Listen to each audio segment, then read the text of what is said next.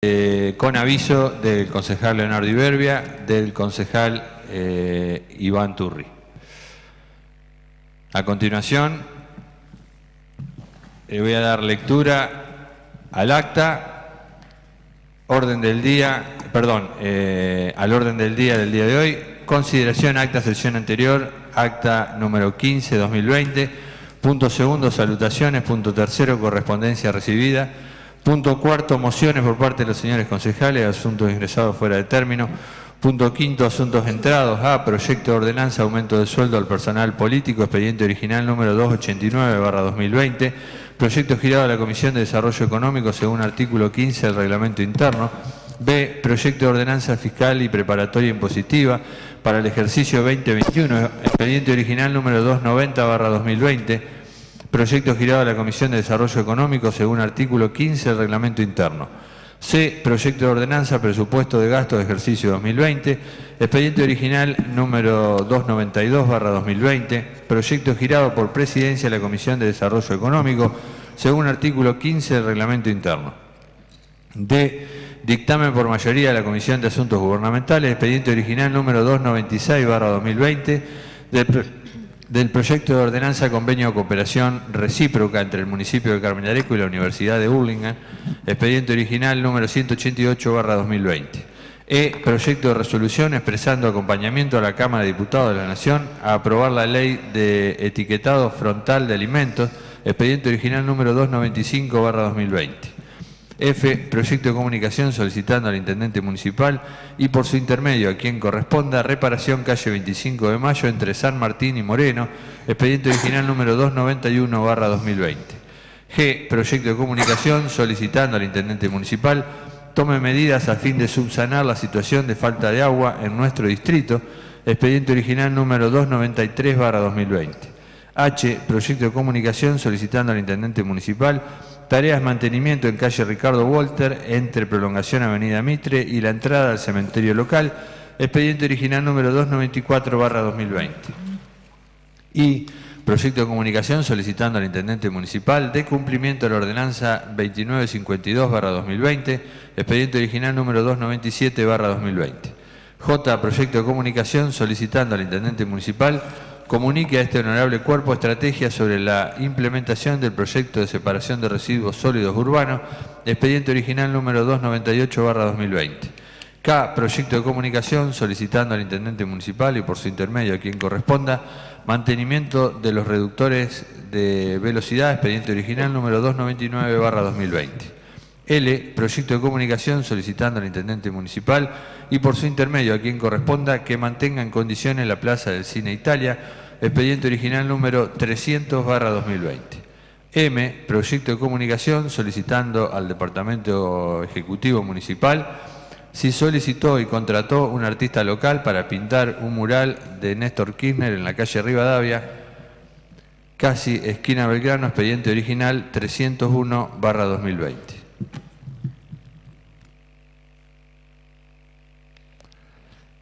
Vamos a dar comienzo con el punto primero del orden del día. Consideración acta sesión anterior, acta número 15 barra 2020.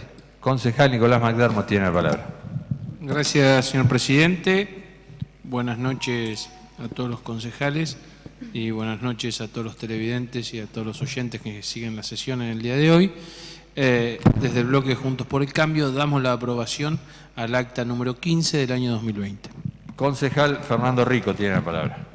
Gracias, señor presidente. Buenas noches a todos los concejales, buenas noches a todos los vecinos de Carmen de Areco y también de nuestro bloque damos por aprobada el acta 15 del 20. Gracias. Concejal Paula Rivero tiene la palabra.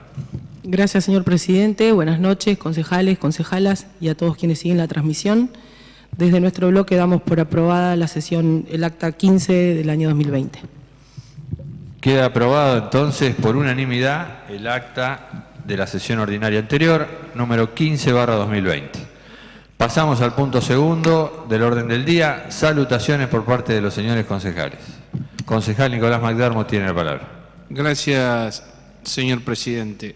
Eh, enviarle un afectuoso saludo a dos familias de Carmen de Areco. En primer lugar, al director de Cablevisión, eh, que en el día de hoy perdió su abuela y está haciendo la transmisión de, este evento. Enviarle un afectuoso saludo a él y a toda su familia. y lo mismo para la familia de Adrián González, un joven de nuestra localidad que en el día de hoy eh, tuvo la mala suerte de, desaparecer, de extendirse físicamente, pero no, eh, va a quedar su recuerdo y su familia. Después saludar, el 6 de diciembre, saludar, fue el Día del Gaucho, saludar al arquetipo nacional, también descrito tanto por José Hernández, eh, como también una gran descripción en el Facundo por parte de Domingo Faustino Sarmiento, saludar a todos los que se identifican con la tradición gaucha en Carmen de Areco. Saludar también eh, a todos, por llamarlo de alguna manera, los que mañana van a celebrar el Día de Virgen de la Inmaculada Concepción, ya que todos saludamos desde aquí a las distintas iglesias y credos cada vez que tienen una fiesta y me parece importante hacerlo. Y el 10 de diciembre vamos a conmemorar un, año más de, la recuperación de la democracia y es el Día de la Democracia y creo que en un ámbito democrático como este eh, debemos eh, respetar esto. Y por último, un 6 de diciembre de hace 43 años, Montoneros en un atentado eh, le quitaba la vida a un niño de 3 años de apellido Barrios. el recuerdo y, cada 24 de marzo cuando hablamos y reprochamos y, hablamos de, la violencia, que la violencia no tiene que ser ningún, nunca más de ninguno de los lados, y menos una violencia armada que costó tantas vidas. Como dato, entre 1969 y 1979, la guerrilla se llevó en la Argentina 1094 vidas de inocentes, entre ellas la de este chico que tenía tres años y perdió la vida un 6 de diciembre. Muchas gracias, señor presidente. Concejal Fernando Rico tiene la palabra. Gracias, señor presidente. Bueno, sumarnos desde nuestro bloque el pésame hacia las dos familias de Carmen de Areco que han tenido una gran pérdida. la familia de mm, Inés Espil y la familia de Adrián González. Ante que nada, ese, ese pésame queríamos dar. Después, eh, bueno, el 3 de diciembre también tenemos que destacar el día, el día del médico. El 3 de diciembre también fue eh, el Día Internacional de las Personas con Discapacidad. Eh, sumarme a todos los saludos que me antecedió el señor concejal McDermott con el tema del Día del Gaucho. bueno, mandar el saludo también a la localidad de Boín, que tuvimos la suerte de, presenciar el acto protocolar. Y bueno, sabemos que fue una situación muy particular, pero bueno, saludar a la localidad por la Fiesta Nacional del Pastel. Eh, también en este año particular. Queremos saludar en nuestro bloque a, todos los egresados de las escuelas primarias, secundarias, de los jardines, que bueno, van a tener su, acto eh, de, de, egreso con todos los protocolos, pero bueno, ha sido un año muy particular y más para los egresados, así que bueno, desde nuestro bloque saludar a todos los egresados, Saludar también en este año tan particular a los abanderados que no han podido portar la bandera, ni la bandera nacional, ni provincial, ni, local.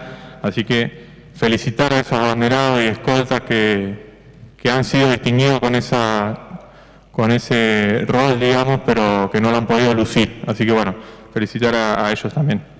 Gracias y nada más. Gracias, señor presidente. Concejal Claudia Gutiérrez tiene la palabra. Gracias, señor presidente. Bueno, en principio, buenas noches a los concejales y concejales y a las vecinas y vecinas que nos están viendo. Eh, bueno, sumarnos al saludo a, estas familias que han tenido estas pérdidas, a la familia González Bainotti y a la familia Espil. Y bueno, también saludar a, los médicos, que la semana pasada fue su día y que hoy son los principales protagonistas en este contexto de, COVID y este virus que viene, vino a cambiarnos la, vida y, se ha llevado muchas vidas. Y bueno, también saludar a nuestros vecinos y vecinas de la ciudad, de, perdón, de la localidad de Goín, eh, que celebraron el día de el día, la fiesta nacional del pastel. Gracias, señor presidente. Pasamos eh, entonces al punto tercero del orden del día, correspondencia recibida. Tengo, hay dos notas eh, que le voy a dar lectura. Señor Presidente del Honorable Consejo Deliberante, Eduardo Campos, pedido de informes de habilitación municipal. De mi mayor consideración, me dirijo a usted la, y la, presente y por su intermedio ante quien corresponda con el objeto de solicitar información respecto a la habilitación y o permiso municipal del puesto comercial carro gastronómico ubicado en Ruta Nacional número 7, kilómetro 143-500 y que funciona en parte de la propiedad del suscripto sin ningún tipo de autorización y parte de terreno correspondiente a Vialidad Nacional.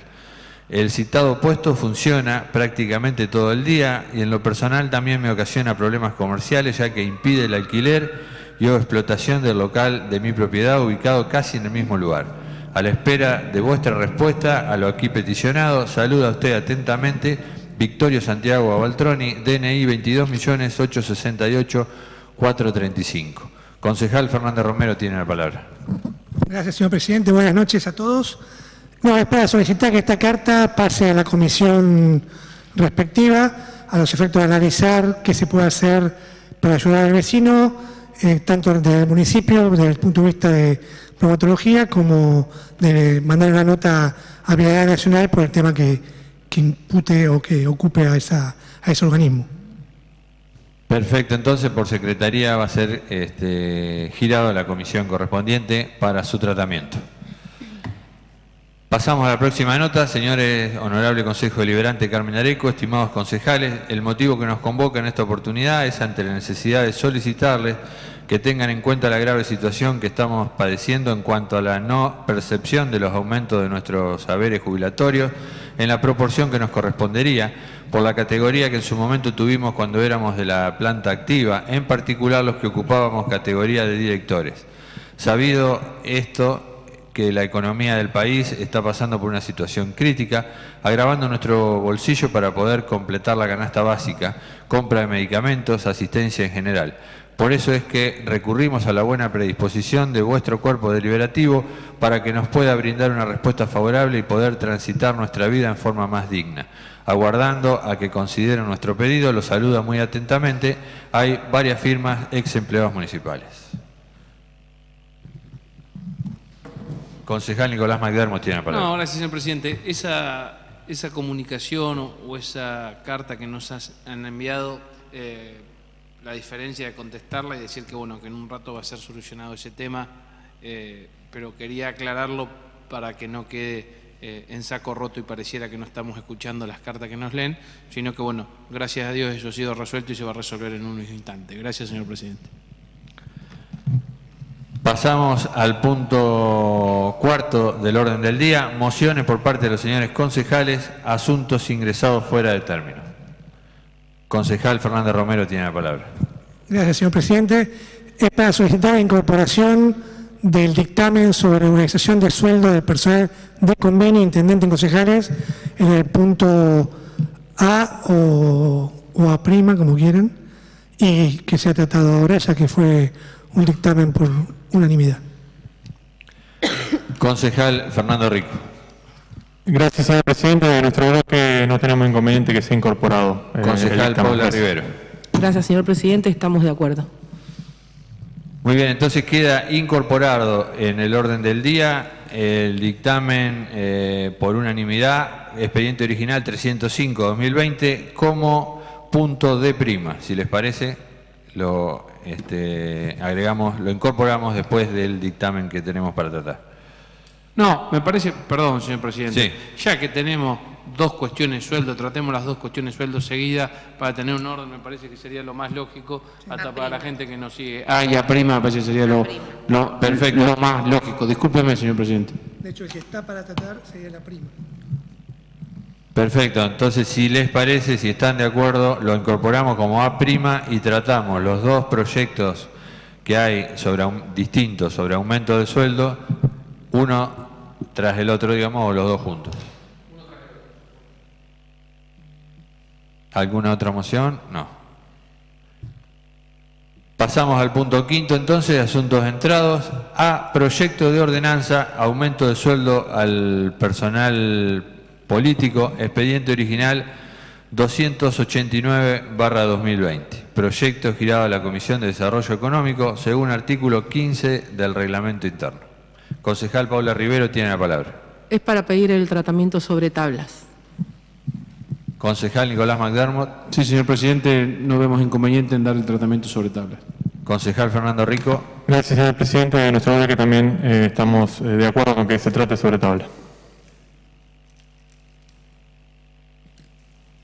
Le voy a dar lectura entonces. Proyecto de ordenanza. Visto la necesidad de actualizar los salarios de las y los funcionarios municipales y considerando que en el presupuesto de gastos aprobado para el ejercicio 2020 se establecen las actualizaciones de los haberes para la planta política jerárquica, por lo que de efectivizarse esta comuna no necesita ampliar partidas a tal efecto. Que además, conforme lo establece la ley orgánica de las municipalidades, las actualizaciones de haberes, ya sea de la planta temporaria, permanente o política, es facultad del Poder Ejecutivo, según lo normado en los artículos 117 y 118 de la ley orgánica, facultad esta establecida además en el Reglamento de Contabilidad y Administración de los Municipios y el artículo 192 de la Constitución Provincial que este Poder Ejecutivo, en virtud de la pandemia por la que estamos atravesando y junto a todo su equipo, ha desdoblado esfuerzos a fin de tomar medidas que contribuyan a la prevención y contención del virus, lo que ha generado que las y los funcionarios de distintas áreas se encuentren trabajando de lunes a lunes las 24 horas con el objeto de llevar adelante una gestión eficiente y prudente y a entera disposición de los vecinos y vecinas de Carmen de Areco, Goín y Tres Sargentos que a pesar del gran esfuerzo y dedicación que está realizando, dichos funcionarios políticos jerárquicos no han percibido actualización de sus saberes desde el mes de julio del año 2019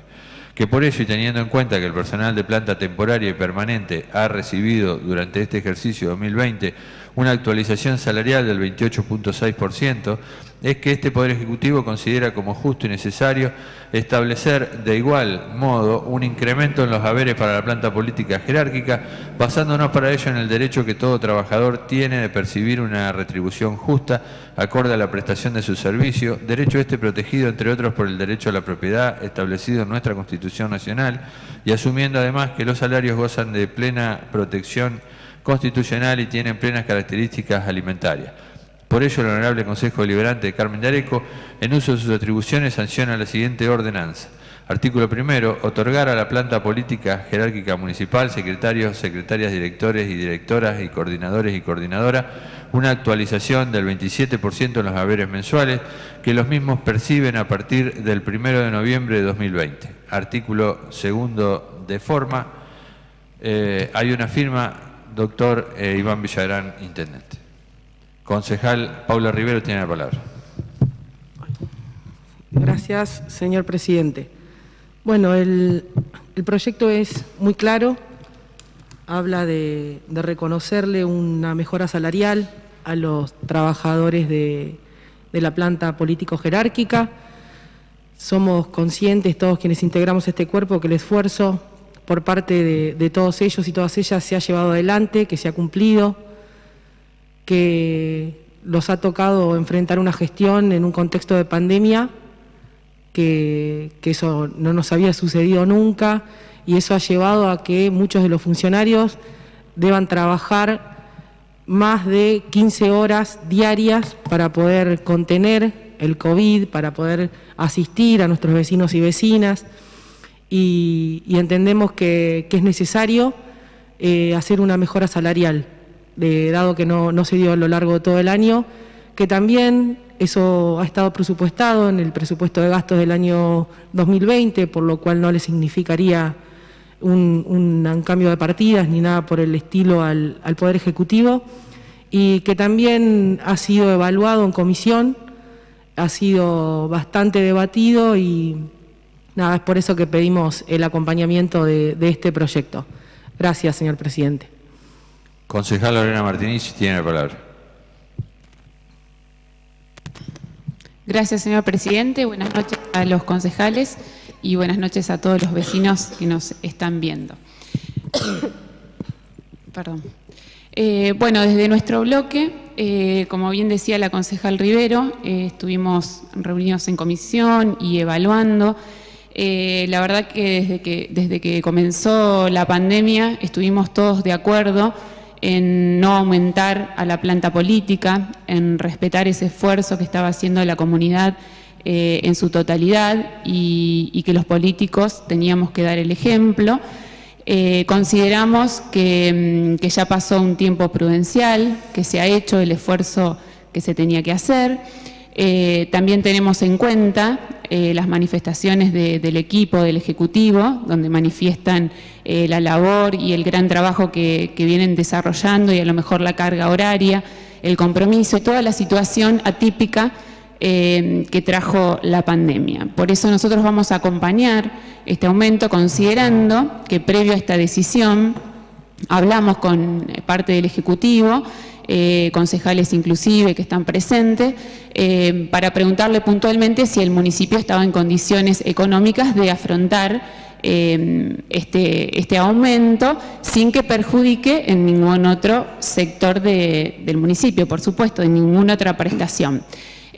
fue positiva esa respuesta, así que bueno, después de haber evaluado, y como bien, como bien decía, después de haber hecho el esfuerzo durante todos estos meses, consideramos oportuno eh, en, este momento que se le dé el aumento que, están solicitando.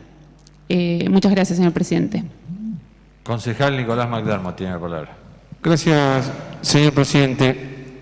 Nosotros, desde el bloque, nos vamos a abstener porque me parece que eh, se podría haber postergado y se podría haber esperado un poco más y, porque no coincido con muchas de las situaciones enumeradas con la concejal Rivero, pero no quiero hacer un debate de esto, sino establecer algunos puntos que son claros. El Consejo Deliberante fue el único que en pandemia se bajó el sueldo y fue el único que postergó sus aumentos fuimos los únicos que ganábamos 2,5 y durante muchísimo tiempo decidimos ganar menos. Y me parece que este tipo de ejemplos son los que se deben seguir llevando a la práctica. Eh, creemos que si el intendente cree que hoy una de las prioridades es, eh, por encima de otra, un aumento de sueldo a la planta política y tiene el dinero para hacerlo, es su decisión política, no, no es nuestra intención empezar a dar una discusión de cuánto debe ganar cada uno, pero sí me parece importante remarcar que no son las prioridades para este tiempo ni para este momento y creo que se podría haber postergado un poco más. Y, se ha discutido, como han dicho todos, muchísimo tiempo en comisión y hemos logrado postergar los aumentos a través de, de discusiones y distintas situaciones que hemos dado y también creo que la intransigencia o la negación como cuestión política también es algo que, que, nos, que nos manea o que nos pone en situaciones incómodas y me parece que también es cierto que se deben eh, tener algunas cuestiones en claro como, cuál ha sido la inflación, ¿no? Eh, una inflación que va a rozar el 50% y que las estimaciones del año que viene también son del 50% y postergar eternamente aumentos significa que el día de mañana el salto debe ser mucho más grande para que no quede atrasado. Yo creo que se podría haber terminado el ejercicio 2020 eh, para dar los aumentos, pero por eso nos vamos a abstener.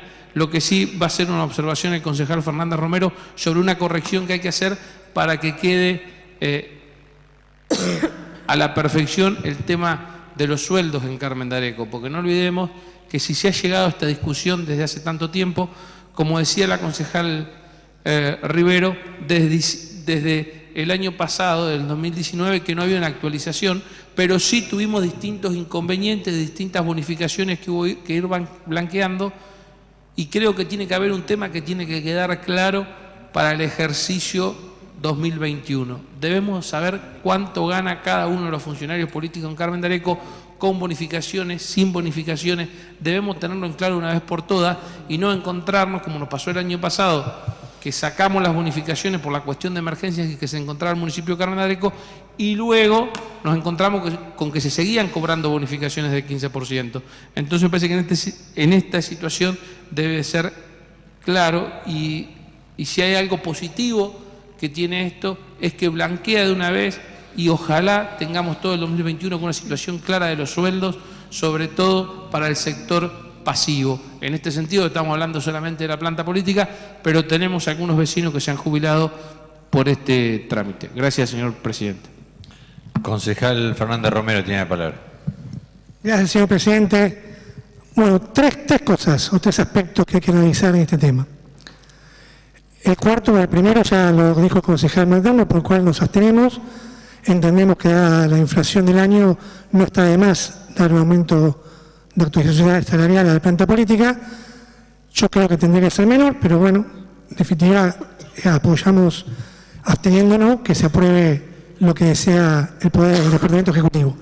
Pero hay un tema importante que es, hay un montón de observaciones puntuales que tenemos que lograr separar y hacer un tratamiento separado entre la planta política y la planta funcional de aquellos puestos que la LON determina que son obligatorios tener en el municipio. Llámese contador, tesorero y jefe de compras. El Tribunal de Cuentas permanentemente solicita que eso se trate aparte porque el personal funcional ni es personal de convenio, aunque pueda estar ocupado por alguien que originalmente viene de, de ser personal de convenio, ni es personal político puro y duro, porque para sacarlo necesita el acuerdo del Consejo.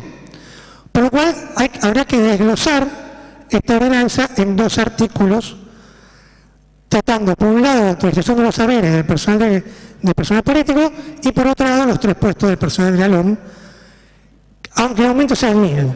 Y yo lo redacté de esta manera, que se dice así en vez de lo que dice la ordenanza original, y le pido al bloque oficialista que lo escuche a ver si están de acuerdo en plantearlo de esta manera, que es artículo primero, actualización de del personal jerárquico político, autoriza al Departamento Ejecutivo a otorgar, a partir del 1 de noviembre del 2020, a la planta política jerárquica municipal un aumento del 27% de los salarios mensuales, por lo que los mismos quedan fijados en los siguientes montos.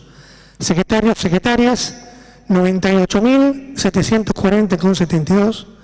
Directores, directoras, 65.204,25. Coordinadores de área, delegados municipales, 49.480 pesos. Y se aclara que siguen vigentes y sin tema alguno el resto de las disposiciones indicadas en el presupuesto 2020, que era que no hay bonificación ni nada extraordinario este año hasta el próximo ejercicio. Y el artículo 2 repite lo mismo, pero para los tres puestos del personal funcional, que se autoriza al Departamento Ejecutivo a otorgar a partir del 1 de noviembre de 2020 a los puestos funcionales obligatorios indicados en la ONU un aumento del 27% de los saberes mensuales, porque los mismos quedan fijados en los siguientes montos. Contador, contadora, 92.259,2 centavos, tesorero, tesorera, 65.204,25, jefe, jefa de compras, 65.204,25, sin vigente y sin 1, el resto de disposiciones indicadas en el presupuesto 2020. Artículo 3, de forma. Esto es lo que de alguna manera, si no lo mandamos así, el Tribunal de Cuentas nos va a decir, sepárenlo. Entonces yo lo separé. No cambia nada el espíritu de lo que ustedes eh, han planteado, simplemente separar a dos plantas la política y funcional como corresponde. En función de que esto se ha pedido. Eh, si no quieren, analícenlo, pero bueno, se puede plantear. Ese es el primer tema. El segundo tema, que a mí me parece mucho más grave, es considerando esta ordenanza. Está claro o está clarísimo que los trabajadores políticos son trabajadores, como cualquier otro, están trabajando y deben y merecen su retribución mensual como todo el que trabaja. Pero hay un permanente y sistemático intento de este, esta gestión de dotar a esa planta política de derechos laborales y derechos sindicales que no tienen. Y a su vez de dotar al Departamento Ejecutivo de poder de decisión que tampoco tiene. Porque hay cosas que deben pasar por el Consejo. Ya lo he explicado muchas veces y lo voy a volver a explicar ahora. que se apruebe un presupuesto, es un presupuesto, no significa que todos los supuestos que dice ese presupuesto estén aprobados per se en aquellos que, supuestos que deben pasar por el Consejo para ser aprobados. Por ejemplo, puede presupuestarse una obra por un convenio con la provincia, con la nación, perdón, pero si ese convenio tiene que pasar por el Consejo, que esté en el presupuesto no significa que no tenga que ya pasar por el Consejo, aunque se haya aprobado el presupuesto. El presupuesto es una suma de supuestos, no es una regla que dice esto hay que hacerlo sí o sí. Todo buen presupuesto contempla, sobre todo en época de inflación, aumento de sueldo. Pero que se apruebe el presupuesto no significa que se aumenten los aumentos de sueldo como plantean los considerando. De ninguna manera. De ninguna manera. La LON es taxativa en que el aumento de sueldos es potestad, tiene que ser autorizada, no es potestad. Lo pide el Poder Ejecutivo, pero lo autoriza el Departamento Deliberativo. Y acá están algunos artículos que me parecen válidos destacar y desenmascarar, ¿no? Por un lado cita que tiene la facultad para ejecutivo según lo que dice el artículo 117 y 118 de la El artículo 117 de la dice que corresponde al Departamento Ejecutivo la recaudación de los recursos y la ejecución de los gastos de la municipalidad. Obviamente, el Poder Ejecutivo determina, recauda ejecuta los gastos, no dice que los autoriza los autoriza el Consejo Deliberante. Eso que quede claro. Y el segundo artículo, el 118, dice el presupuesto anual constituye el límite de autorizaciones conferidas al, intendente y al presidente del Consejo en materia de gastos y los montos fijados a, a las partidas no podrán ser excedidos. ¿Qué dice este artículo? Que el límite del presupuesto es un tope de gasto total y que se puede gastar hasta ese tope pero eso no significa que no haya que aprobar lo que esté dentro de ese tope y que aparte no te puedes exceder si no hay aprobación por excesos. Por lo cual no sé qué tiene que ver esto que pusieron. A su vez dice que no dice reglamento de contabilidad y administración de los municipios. No hay ningún lugar del reglamento de contabilidad y administración de los municipios que diga algo sobre los sueldos, que debe potestar el Ejecutivo para hacerlo. Y tercero, invocan el artículo 192 de la Constitución Provincial. El artículo 192 de la Constitución Provincial lo que dice, para ser exacto lo voy a leer, si me dan un segundo, que abro la foto, dice, son atribuciones inherentes al régimen municipal los siguientes y acá habla de todo lo que dice Alon, por poner el, los, los, los, presupuestos y toda la historia. Pero arriba no dice que es potestad del intendente, dice que es potestad del régimen municipal. El régimen municipal es ambos departamentos. Por lo cual, lo que me parece importante resaltar, y quiero que quede claro, que no puede haber un avance, como están pretendiendo el Departamento Ejecutivo, sobre funciones que son del Consejo el departamento ejecutivo no tiene la potestad de aumentar los sueldos cuando quiera. Sería razonable que el intendente aumente los sueldos solamente cuando y como quiera. La LOM establece tanto lo contrario. Por lo cual que ver y tampoco la planta política tiene ningún derecho ninguno laboral. Vienen los intendentes y se van cuando el intendente quiere o se van cuando viene un nuevo intendente. Sin indemnización, sin derechos, sin nada de nada. Eso tiene que quedar claro. Y viendo esto, y viendo que este Consejo no tiene eh, el poder, el Departamento Ejecutivo no tiene mayoría, y así todos plantean esto, yo creo que da un ejercicio de imaginación. Imagínense este gobierno con mayoría en el Consejo. Lo que harían con los sueldos, se llevarían puesto todo. Es importante porque vienen elecciones el viene, y es importante resaltar que jamás tiene que tener mayoría en la Cámara, nunca en ningún lado. Sabemos lo que pasa cuando la tienen. Lo vemos en el Congreso y en otros lados. Se hacen cosas muy perjudiciales para la población y para el país. Y el tercer punto tiene que ver con la carta que yo al principio, el tema de los jubilados. Estuve hablando con varios de ellos, específicamente con una señora eh, que fue eh, empleada municipal, Y realmente me parece muy injusto, realmente muy injusto, que el IPS, que es el Instituto de Previsión Social, el que nos paga las jubilaciones o el que paga las jubilaciones al personal provincial, estatal, actualice las jubilaciones en función de lo que se actualicen los activos en cada uno de los momentos determinados en la historia de un lugar. Está en moda, el ANSES no hace eso. El ANSES tiene su propia fórmula de actualización. De hecho, se está discutiendo, lo hemos discutido acá, los jubilados tienen un aumento determinado por una fórmula que contempla la inflación, los salarios, o sea, pero jamás tiene una relación con los activos puros y duros que están entrando en este momento.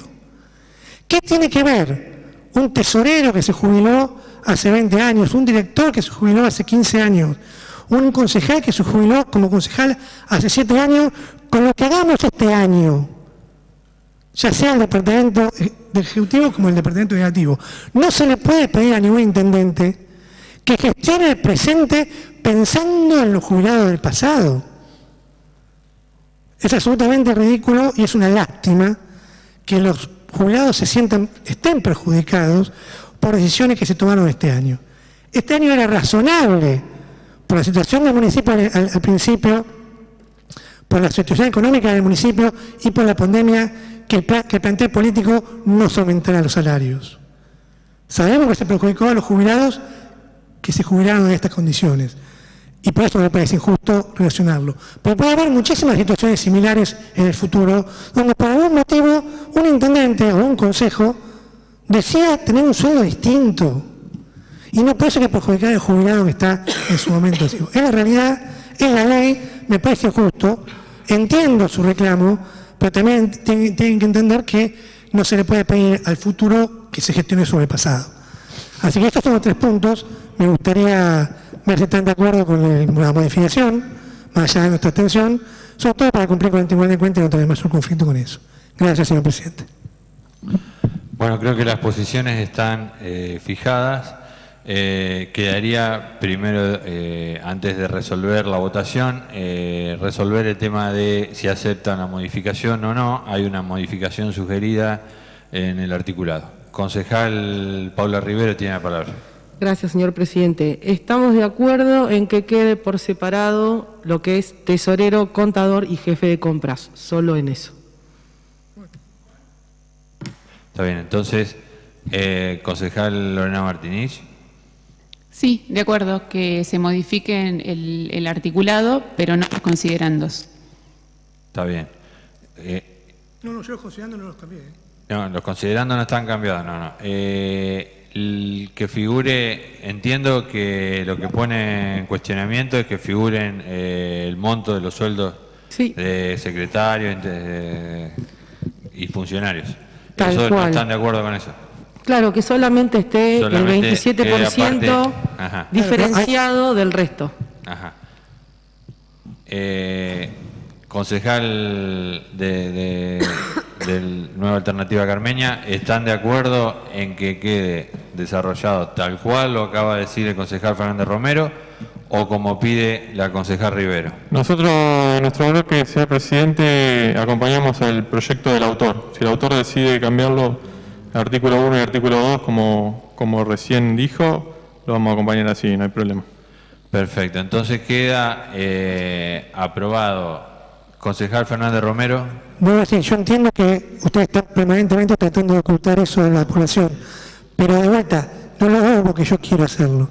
El Tribunal de Cuentas pide que se haga desglosado cada puesto, porque de eso depende el sueldo de los jubilados respectivos. Si no pones cuando haga un director, el IPS no se entera. Entonces tienen que asumir que es así. O sea, lo están pidiendo. Si hubiera un intendente jubilado, pedirían el sueldo del intendente. Y así en cada uno de los puestos. ¿Listo? Concejal Dinardi tiene Gracias, señor presidente. Eh, nosotros estamos de acuerdo que figure contador jefe de compra y tesorero, como adelantó mi compañera de, bloque, y no con relación a los sueldos, porque nosotros no tenemos en este momento acá un listado de los sueldos para poder evaluar si nos estamos equivocando o no. Entonces, corresponde al Ejecutivo cuando remite al IPS informar sobre los sueldos, cómo quedan conformados y no va a haber ningún inconveniente. No va a haber ningún inconveniente. Se lo va a informar el Ejecutivo, no tiene por qué estar en la ordenanza. Gracias, señor presidente. Bueno, entonces, eh, sí, breve, por favor, consejero, porque ya Sí, está fijada la posición. brevísimo, brevísimo. No lo iba a decir, pero ya que está lo voy a decir. Yo lo que hice fue tomar el salario que había a principio de año, aumentar el 15% y aumentar el 27%. Por eso creo que estos valores que dije son eso. Se supone que estos son los aumentos de sueldo que hay. Pero voy a dar un dato. En el presupuesto nuevo, el que se presentó el otro día, ya para el sueldo de director, ya hay otro sueldo distinto. Nos deseaban 28, 62 y no en 27. 28 o 60 es justo la seriedad del plan de convenio. Puede ser un error. O un director que quiere ganar un poquito más a partir del 1 de enero. Lo trataremos en el presupuesto. Ok, ok, yo lo que planteo es, ojo con lo que informan, porque estos son los sueldos que tienen que tener, no otros. Ya pasó que el sueldo que tienen que tener a uno resulta que era otro. ¿Por qué piensa que lo quieren ocultar? Gracias, señor presidente. Queda aprobado entonces eh, por mayoría eh, el proyecto de ordenanza con la modificación sugerida a medias. Eh, después, este, por secretaría, el día miércoles le vamos a dar redacción final a los dos artículos, a los tres artículos. Pasamos al punto siguiente del orden del día. Dictamen eh, por, unanimidad de la Comisión de Desarrollo Económico.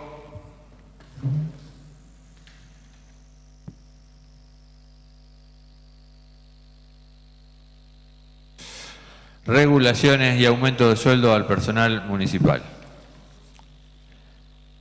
Dictamen, fecha 4 de diciembre de 2020, dictamen expediente original 285-2020, documento proyecto de ordenanza, asunto regularizaciones y aumento de sueldo al personal municipal, despacho por unanimidad. Visto el expediente original 285-2020 de aumento de salario del personal municipal y considerando que habiéndose analizado la solicitud del Departamento Ejecutivo realizada bajo expediente 285-2020 en relación a la actualización de salarios del plantel municipal, y dada la inflación del año 2020, esta comisión por unanimidad entiende razonable los aumentos planteados para el personal de convenio y los salarios relacionados del intendente y concejales.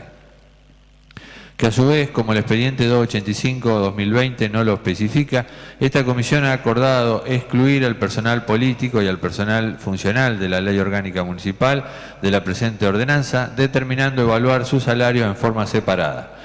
Por ello, los concejales de la comisión del bloque Juntos por el Cambio, en uso de sus atribuciones, eh, por eso los concejales de la Comisión eh, de Desarrollo Económico establece el siguiente dictamen por unanimidad.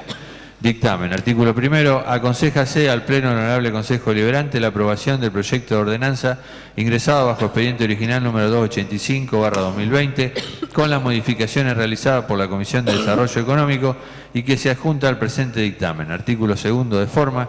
Por Comisión de Desarrollo Económico hay cuatro firmas. Concejal Alejandro Fernández Romero, concejal Nicolás McDermott, concejal Paula Rivero y concejal Lorena Martinich. Le voy a dar lectura eh, a la ordenanza, si quieren, cómo, va- cómo quedaría redactada. Eh, de acuerdo a las modificaciones realizadas por la Comisión de Desarrollo Económico. Ordenanza, regularización, adecuación y actualizaciones de salario del personal del municipio de Carmen de Areco. Artículo primero, aprobación, actualización de salarios. Autorízase al Departamento Ejecutivo a realizar las adecuaciones salariales exclusivamente del personal de convenio, permanente y temporario, intendente y concejales, de acuerdo a lo indicado en los siguientes artículos, partiendo de los salarios vigentes de cada categoría a septiembre de 2020. El personal político y el personal funcional indicado en la ley orgánica municipal queda excluido expresamente los aumentos indicados en la presente ordenanza, por lo que mantiene los salarios indicados en la ordenanza 3024-20. Artículo segundo, actualización salario personal de convenio. Actualícese un 18% de los salarios de la totalidad del personal de convenio permanente y temporario e intendente en dos tramos del 9%. El primero de ellos se aplica a partir del 1 de octubre de 2020 y el segundo a partir del 1 de noviembre de 2020. Artículo tercero, actualización valor del módulo. Establecese que a partir del 1 de octubre de 2020 el valor del módulo para el cálculo de los haberes sea de pesos 44,84 centavos, a efecto de regularizar desde la fecha indicada el escalafón municipal y el salario del intendente. Establecese que a partir del 1 de noviembre de 2020 el valor del módulo para el cálculo de los haberes sea de pesos 48,54 centavos, a efectos de regularizar desde la fecha indicada el escalafón municipal y los demás salarios derivados de su utilización como base de cálculo. Artículo cuarto, actualización salario categoría ingresante. Fíjase en consecuencia y correspondiente al primer tramo de aumento, a partir del 1 de octubre de 2020 el salario de la categoría ingresante por 30 horas semanales en la suma de pesos 12.555 con 20 centavos eh, artículo cuarto, fíjase en consecuencia y correspondiente al segundo tramo de aumento a partir del 1 de noviembre de 2020 el salario de la categoría ingresante por 30 horas semanales en la suma de pesos 13.591 con 20 centavos. Determínase que el salario de la categoría ingresante en base a 40 horas semanales utilizado como base para calcular el salario del intendente y los concejales a partir del 1 de octubre de 2020 es de pesos 16.740 con 27 centavos. Artículo 4.4 determínase que el salario de la categoría ingresante en base a 40 horas semanales utilizado como base para calcular el salario del intendente y los concejales a partir del 1 de noviembre de 2020 es de pesos 18.121 con 60 centavos. Artículo 5 salario del intendente municipal. Fíjase el sueldo del intendente municipal a partir del 1 de octubre de 2020 en la suma de pesos 200.883,24 centavos, equivalente a 12 salarios mensuales en base a 40 horas semanales de la categoría ingresante. Artículo 5 5.2, eh, fíjase el sueldo del intendente municipal a partir del 1 de noviembre de 2020 en la suma de pesos 217.000 459 con 20 centavos, equivalente a 12 salarios mensuales en base a 40 horas semanales de la categoría ingresante. Continúa vigente y sin cambio alguno el resto de las disposiciones indicadas en la ordenanza complementaria del presupuesto 2020.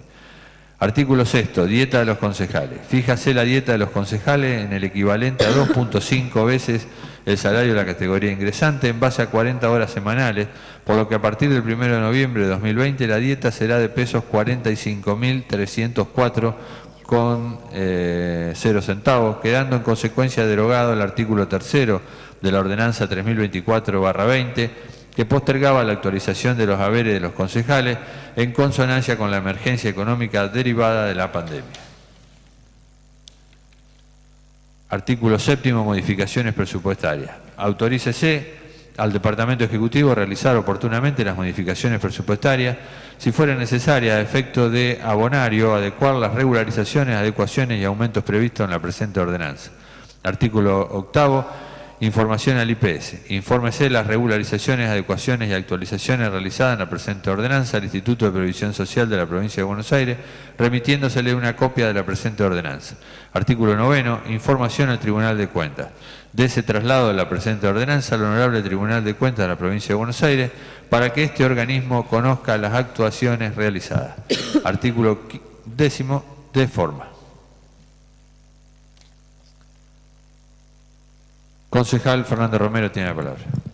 Gracias, señor presidente.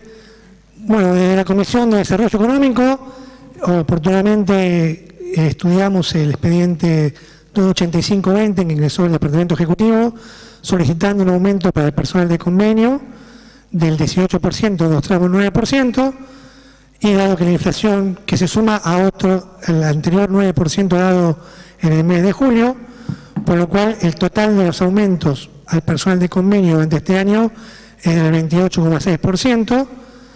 La inflación va a estar por encima de eso, por lo cual eh, lo encontramos razonable, aunque sigue siendo escaso en relación a, cómo la realidad va pasando por arriba de los salarios con este gobierno eh, en el poder.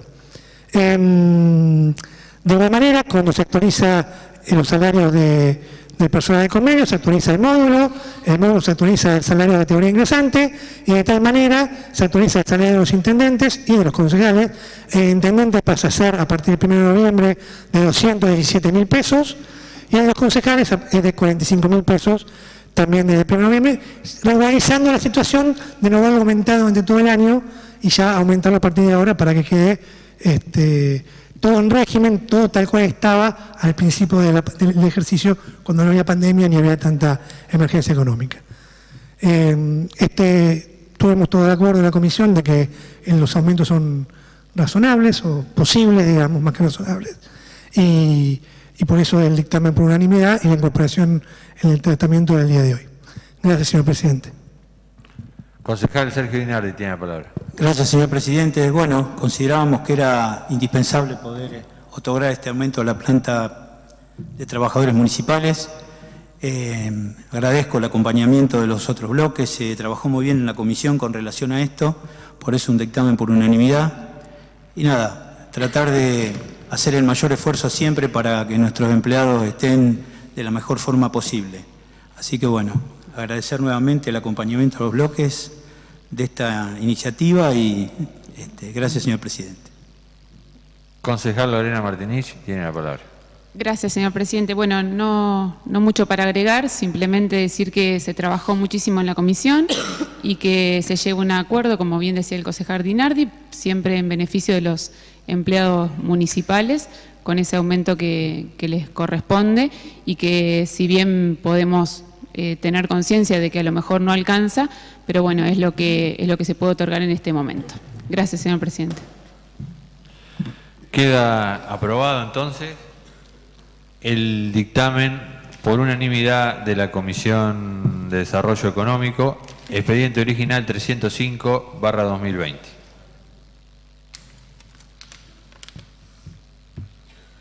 Siendo la hora 9.57, se retira la concejal Paula Rivero. Pasamos eh, al punto B de los asuntos de entrados. Proyecto de ordenanza fiscal y preparatoria impositiva para el ejercicio 2021, expediente original 290-2020. Proyecto girado a la Comisión de Desarrollo Económico según artículo 15 del reglamento interno. Concejal Sergio Dinardi tiene la palabra. Eh, gracias, señor presidente. Pedimos el pase a comisión. Concejal Nicolás McDermott. Tiene Gracias, señor presidente. No hay inconveniente a que pase comisión, dado la extensión de dicho proyecto. Concejal Fernando Rico tiene la palabra. Gracias, señor presidente. En nuestro bloque también estamos de acuerdo con que pase a comisión, a la Comisión de Desarrollo Económico. Gracias. Permanece entonces en la Comisión de Desarrollo Económico, expediente original, eh, ordenanza fiscal y preparatoria impositiva, Expediente original 290-2020. Concejal eh, Fernando Romero tiene la palabra. Gracias, señor presidente. Una aclaración. Si bien el proyecto de ordenanza del presupuesto y fiscal va a la Comisión de Desarrollo Económico, es un proyecto a tratar por todos los concejales, por los 12, por el plenario. Que lo sepa la gente y lo sepamos todos. O sea, a partir de ahora, mientras se haga la reunión de comisiones para tratar este tema, tienen que venir todos. Gracias, señor presidente. Pasamos entonces eh, al punto siguiente del orden del día, punto C, proyecto de ordenanza, presupuesto de gasto de ejercicio 2020, expediente original número 292-2020, proyecto girado por presidencia de la Comisión de Desarrollo Económico según artículo 15 del reglamento interno. Concejal Sergio Dinardi tiene la palabra. Eh, no lo tengo ese tema, señor presidente, no lo tengo. Ah. Concejal Claudia Gutiérrez tiene la palabra. Gracias, señor presidente. de nuestro bloque pedimos que pase a comisión. Concejal eh, Fernando Rico tiene la palabra. Gracias, señor presidente. También de nuestro bloque eh, estamos de acuerdo con que permanezca en comisión para poder analizarlo. Gracias. Concejal Nicolás McDermott. Gracias, señor presidente. Va en conjunto con el tema anterior por su extensión y porque van eh, siempre trabajó juntos, presupuesto y fiscal impositiva, así que por lo tanto eh, aprobamos que continúe en comisión para su estudio. Gracias, señor presidente. Permanece en comisión, entonces, el proyecto de presupuesto de gasto de ejercicio 2020, eh, expediente original 292-2020. Pasamos al punto D del orden del día, dictamen por mayoría de la Comisión de Asuntos Gubernamentales, expediente original 296-2020 del proyecto de ordenanza convenio de cooperación recíproca entre el municipio de Carmen de Areco y la Universidad de Hurlingham, expediente original 188-2020. Honorable Consejo Liberante, Comisión de Asuntos Gubernamentales, fecha 30 de noviembre de 2020, dictamen expediente original 188-2020, documento proyecto de ordenanza asunto convenio de cooperación recíproca entre el municipio de Carmen de Areco y la Universidad de Hurlingham. Despacho por mayoría. Que después, visto que después de mantener varias reuniones en la Comisión de Asuntos Gubernamentales para conocer en profundidad este convenio y habiendo llegado a coincidir en la importancia del mismo para nuestra comunidad, dado que viene sin duda a llevar a un nivel superior a nuestra educación pública, que es también una posibilidad para nuestras y nuestros docentes de acceder a esta herramienta educativa, dado que es eh, modalidad virtual, haciendo mucho más fácil el acceso a la misma. Que el facilitar carreras universitarias de esta índole no solo representa una mejora para los docentes que decidieron realizarla, sino que también lleva a un nivel superior a nuestra educación pública, ya que son esos mismos docentes quienes desde nuestras escuelas acompañan la formación de nuestros jóvenes. Por todo lo expresado es que la Comisión de Asuntos Gubernamentales, en uso de sus atribuciones, sanciona el siguiente dictamen. Artículo primero, se aconseja la aprobación del mencionado proyecto de ordenanza ingresado bajo expediente original 188-2020 sin modificaciones. Artículo segundo de forma, por Comisión de Asuntos Gubernamentales, concejal Leonardo Iberbia, concejal Iván Turri. Concejal Claudia Gutiérrez tiene la palabra.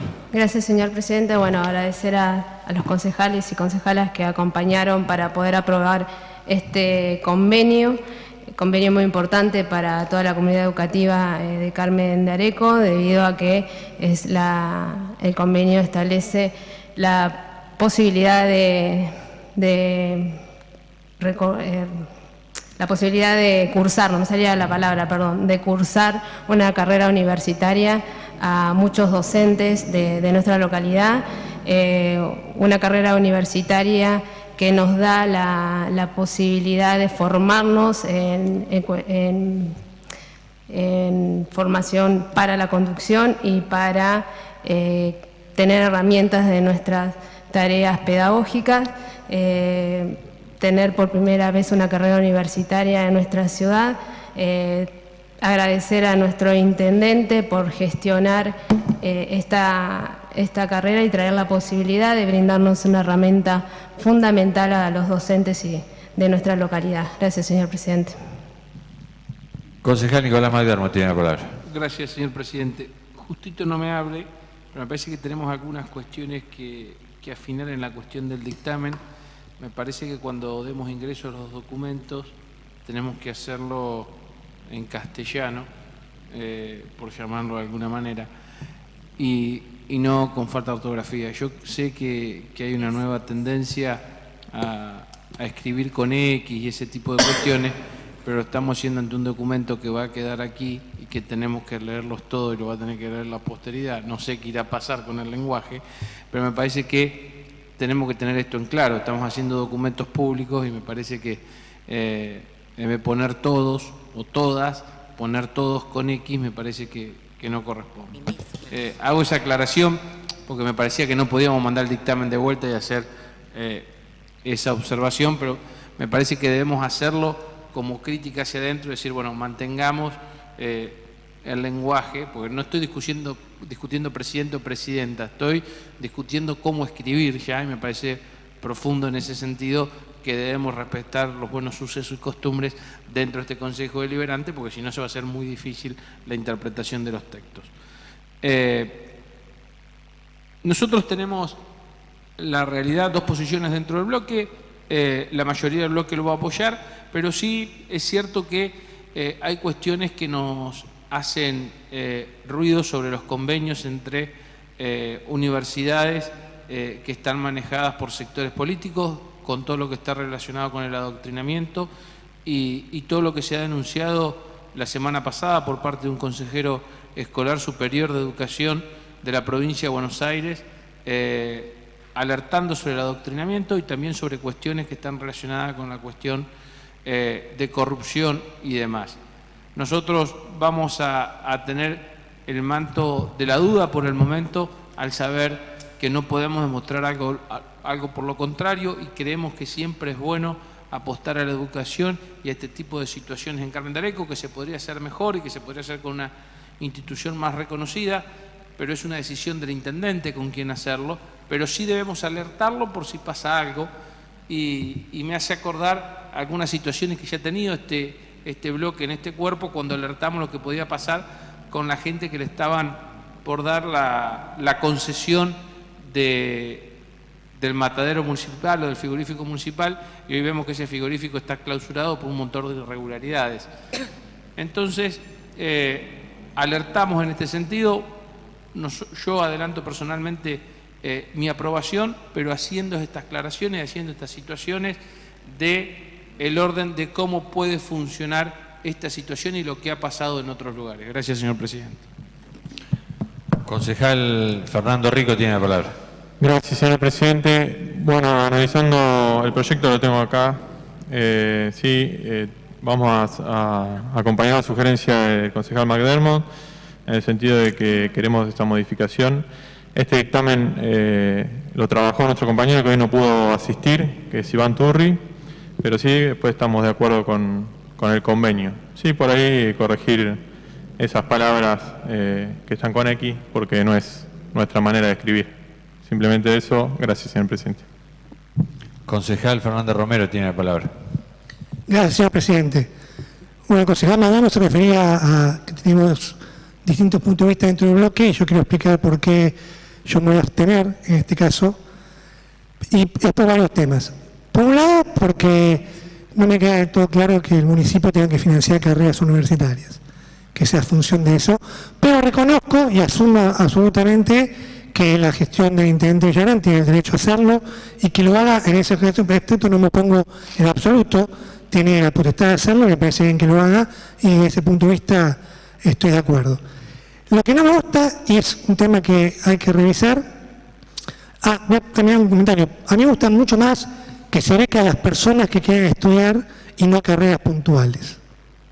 Si me preguntan a mí, yo prefiero que se beque a una persona que estudie o la carrera que quiera y no una carrera para muchas personas. Es un tema de cómo lo haría yo desde el punto de vista particular y por eso no estoy tan de acuerdo con esto. Pero lo que a mí me hace más ruido de esto es de dónde viene el tema y por qué. El rector de la Universidad de Burlingame es Jaime Perisic. Jaime Perisic fue elegido dos veces ya rector de la Universidad de Burlingame y en este momento está de licencia, eh, por eso el, que firma el convenio es un señor llamado Warach, que es el vicerrector, porque pasó a ser, a partir del año pasado, con el nuevo gobierno, el secretario de Políticas Universitarias del Ministerio de Educación de la Nación. Ese es el área que históricamente recaudó para la política, recauda desde la universidad para las políticas. ¿Cómo funciona esto? Los municipios en convenio de esa universidad les pagan esa universidad junta el dinero y ese dinero vuelve a la política por atrás para financiar campañas y ese tipo de cosas. El licenciado Wallach, que es el que firma el, convenio, es licenciado de educación, pero de la UBA. La UBA, como todos saben, es la universidad número uno del país y está muy bien ranqueada incluso a nivel mundial, pero la Universidad de Burlingame es la universidad número 103 del país en su ranking de jerarquía y la 28.000 del mundo, 28.000 y pico, no me acuerdo exactamente cuál, porque tampoco es una universidad que tenga un nivel de jerarquía muy importante. Y por último, para cerrar el tema de por qué entiendo que hay temas de trasfondo político, intenté averiguar con qué otros municipios se hicieron este tipo de convenios. Y encontré varios, y todos son peronistas. No hay ningún municipio que no sea peronista que haya hecho convenio con esta universidad. Por eso, particularmente, yo me voy a abstener. Gracias, señor presidente. Bueno, entonces, eh, no sé si es necesario realizar la votación. Serían dos, cuatro, seis, ocho votos eh, por el sí y una abstención.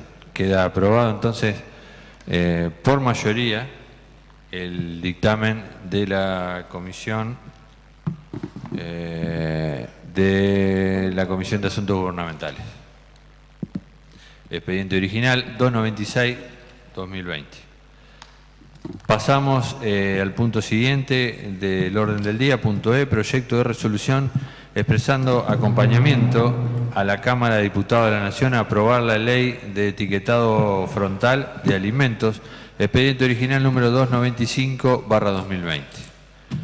Proyecto de resolución. Visto el proyecto de ley sobre etiquetado frontal de alimentos que cuenta con media sanción de la Honorable Cámara de Senadores de la Nación y considerando que en la sesión eh, desarrollada el día jueves 29 de octubre de 2020, la Cámara de Senadores de la Nación dio media sanción al proyecto de ley sobre etiquetado frontal de alimentos, que mediante esta iniciativa se establece la colocación de una serie de sellos frontales en los envases de alimentos con altos contenidos de sodio, azúcares, grasas saturadas, grasas totales y calorías, que publicaciones y estudios de innumerables y prestigiosas universidades, centros de estudio y hasta organismos supraestatales como la Organización Mundial de la Salud y la FAO vienen advirtiendo desde hace años acerca del peligroso aumento de los indicadores de enfermedades como la obesidad, el sobrepeso, la diabetes y las caries dentales, ligadas directamente al consumo de bebidas de consumo masivo, entre las que destacan las eh, genéricamente conocidas como bebidas azucaradas, sean gaseosas o no, que en América Latina en general y en Argentina en particular, enfermedades como la obesidad, el sobrepeso y la diabetes han tenido en las últimas décadas un preocupante incremento de tal manera que nuestro país se ha erigido, de acuerdo a diversos informes de la OMS, la FAO y la CEPAL, en el país con mayor porcentaje de obesidad de toda América Latina, seguido por Chile y México. El sobrepeso y la obesidad son un fenómeno cada vez más generalizado en el mundo y en la región, al punto de transformarse en uno de los problemas de salud más importantes de América Latina. En la República Argentina, por ejemplo, cerca del 29% de la población es obesa, mientras que 6 de cada 10 personas presentan exceso de peso que nuestro país encabeza el ranking regional de obesidad infantil en menores de 5 años, contando con un 9% de niños en esta situación, dos puntos porcentuales por encima de la media observada en los niños de América Latina, 7%. Que en tal sentido la presente iniciativa busca concientizar y promover la importancia que genera en los seres humanos el goce de una alimentación saludable, buscando dar una solución a los padecimientos que genera la malnutrición que el etiquetado frontal de los alimentos se presenta como un medio eficaz para dotar al consumidor de información sobre la composición nutricional de un alimento, en particular sobre su contenido de nutrientes críticos, grasas, sodio, azúcares, energía, entre otros. Que de esta forma se provee una herramienta sencilla y eficiente en favor de los consumidores que le permite elegir su alimentación con la debida información que el derecho de los consumidores y usuarios de bienes y servicios se encuentra consagrado en el artículo 42 de la Constitución Nacional. Su inclusión fue producto de la reforma constitucional de 1994, que una vez más se demuestra la íntima relación que existe entre el derecho del consumidor y el derecho a la salud, cuya garantía resulta fundamental para que la población alcance un nivel adecuado de vida digna y saludable que además la ley número 24.240 de defensa del consumidor y sus modificatorias en el capítulo segundo refiere a la información al consumidor y protección de su salud. La ley, a su vez, establece que el artículo cuarto, el, deber de informar al consumidor en lo atinente a las características esenciales del producto, señalando que esta información debe ser cierta, clara y detallada, Finalmente, en el artículo quinto, se establece una protección expresa a la salud e integridad física de los consumidores y usuarios.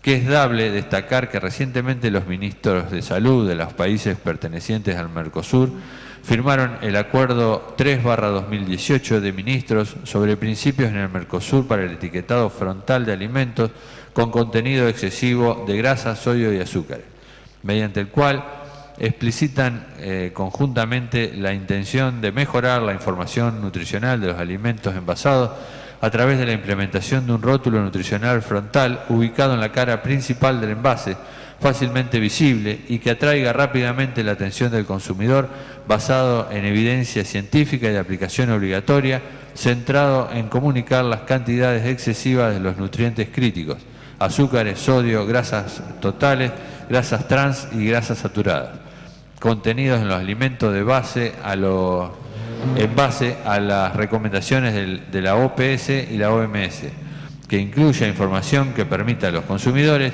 la fácil y rápida comprensión respecto al contenido excesivo de nutrientes críticos, facilitando la comparación de los alimentos de la misma categoría y de categorías diferentes y la toma de decisiones informada. Por ello, el Honorable Consejo Deliberante de Carmen Areco, en uso de sus atribuciones, sanciona la siguiente resolución. Artículo primero, el Honorable Consejo Deliberante de Carmen de Areco expresa su acompañamiento e insta a la Honorable Cámara de Diputados de la Nación a aprobar la ley de etiquetado frontal de alimentos, la cual cuenta con media sanción de la Honorable Cámara de Senadores de la Nación. Artículo segundo, una vez aprobado el presente, envíase copia a la misma a la Honorable Cámara de Diputados de la Nación para su conocimiento. Artículo tercero, envíese copia de la presente a los honorables consejos deliberantes de la provincia de Buenos Aires para que por vuestro intermedio soliciten el tratamiento y aprobación por parte de la Cámara de Diputados de la Nación de la Ley de Etiquetado Frontal de Alimentos. Artículo cuarto, de forma, por interbloque Juntos por el Cambio, hay cinco firmas, concejal Karina Heffler, concejal Nicolás McDermott, concejal Marcela Gini, concejal Alejandro Fernández Romero, concejal Eduardo Campos. Concejal Karina Heffler tiene la palabra. Bueno, muchas gracias, señor presidente. Bueno, este proyecto de ley eh, que tiene media sanción en la Cámara de Senadores, eh, instamos a través de esta resolución a que la Cámara de Diputados también, eh, antes de que termine el año y pierda estado parlamentario, trate esta ley de etiquetado frontal de alimentos. es un pedido desde UNICEF, la Organización Panamericana de la Salud, la Organización Mundial de la Salud y la FAO. Eh, personalmente, eh, bueno, todos saben que en casa hay una persona con problemas, con, con un problema de salud, entonces yo todos los días tengo que contar para que él coma 70 gramos de proteínas diarias y 4 gramos de sal. Muchísimas veces se me hace imposible, ya ahora no porque lo he aprendido, pero he ido al supermercado con hojitas desde donde del hospital Garrahan me decían, tal marca tiene tanta cantidad de sal, tal marca tiene, por ejemplo, solo un ejemplo que solo puede tomar Nesquik, por ejemplo, de chocolate, porque los otros tienen alto contenido de sodio y demás. Todo eso lo aprendí en el Hospital Garrahan en el sector de alimentación renal. Entonces, una ley que a nosotros nos facilite como papás, que encima que tenés un problema tenés que estar muy atento de ir sumando, además de todo el día en el supermercado, qué marcas comprar y si no hay, pedir al lugar. Cuando yo me vine a vivir acá tuve que pedir que trajeran, por ejemplo, milanesas de arroz Granja del Sol, porque no había. Entonces, con esta ley eh, va a ser mucho más fácil para los papás, es para todos, obviamente, yo no lo hago por nosotros, pero es mucho más fácil para los papás o para los adultos que desconocen, porque por ahí hay análisis que te salen, exceso de, sodio y vos decís, ¿cómo? Entonces te das cuenta con la nutricionista después que estás consumiendo una crema baja en, grasas, pero rica en sal. Entonces, si vos vas al supermercado y ya tenés rotulado afuera que te dice, van a ser unos sellos en forma octogonal, fondo negro, letras blancas, que no va a ocupar más del 10% de la superficie del paquete. Entonces, es una ley que está pedida por muchas personas, eh, por ejemplo, chef como Narda Lepes, Roberto Petersen, Dolly Irigoyen. Y bueno, y nosotros desde el Hospital Garrahan, eh, los papás con niños con determinadas patologías también la pedimos. Por eso la traje al recinto, porque les pido el acompañamiento y sé que me acompañan cuando yo no estoy por ahí, me preguntan qué pasó, por miedo a que haya pasado algo en casa y es porque, bueno, porque no pude venir. Eh, muchas gracias, señor presidente. Concejal Lorena Martínez tiene la palabra. Gracias, señor presidente. Bueno, eh, por supuesto que vamos a acompañar este proyecto de ley, nos parece muy interesante. Eh, está apuntado principalmente a alertar a aquellos consumidores. Está comprobado que si un producto en, su parte frontal te está indicando que hay un riesgo porque tiene determinada cantidad de sal, de grasa, eh, está comprobado que uno lo piensa dos veces antes de adquirirlo. Entonces, a eso apunta esto. Eh, a prevenir, a concientizar, no solamente, como decía Karina, a personas que padezcan enfermedad, sino a prevenir enfermedades. Eh, en nuestro país tenemos muchísimos casos de, obesidad, de pacientes con diabetes, y, este rotulado frontal eh, apunta a, evitar este tipo de enfermedades que una vez declaradas son muy complicadas. Eh, realmente me parece muy importante el tema del rotulado, como bien decía, en forma octagonal, el color, eso todo está estudiado porque en otros países ya se está utilizando.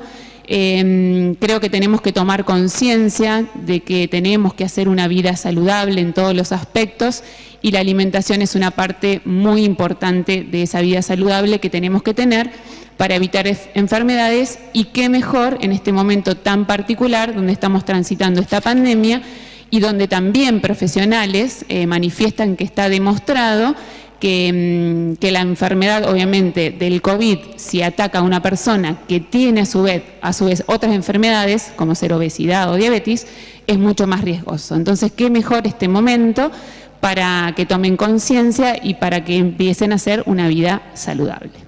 Así que bueno, vamos a acompañar. Muchas gracias. Concejal Claudia Gutiérrez tiene la palabra. Gracias, señor presidente. Bueno, en nuestro bloque, eh, obviamente, también vamos a acompañar este, este proyecto de resolución, eh, ya que esta, este proyecto de ley viene a traer eh, herramientas a la, población para poder identificar los distintos alimentos que son de alto contenido calórico, de azúcares, de sal. Entonces hace a la posibilidad de identificar esos productos y elegirlo para poder llevar a cabo una dieta saludable todo lo que tenga que ver con la alimentación saludable eh, y con, una mirada de salud eh, es sumamente importante. Nosotros de nuestro bloque lo vemos también que viene aparejado a complementar lo que ya está establecido en la ley 26.396 que habla de trastornos alimenticios.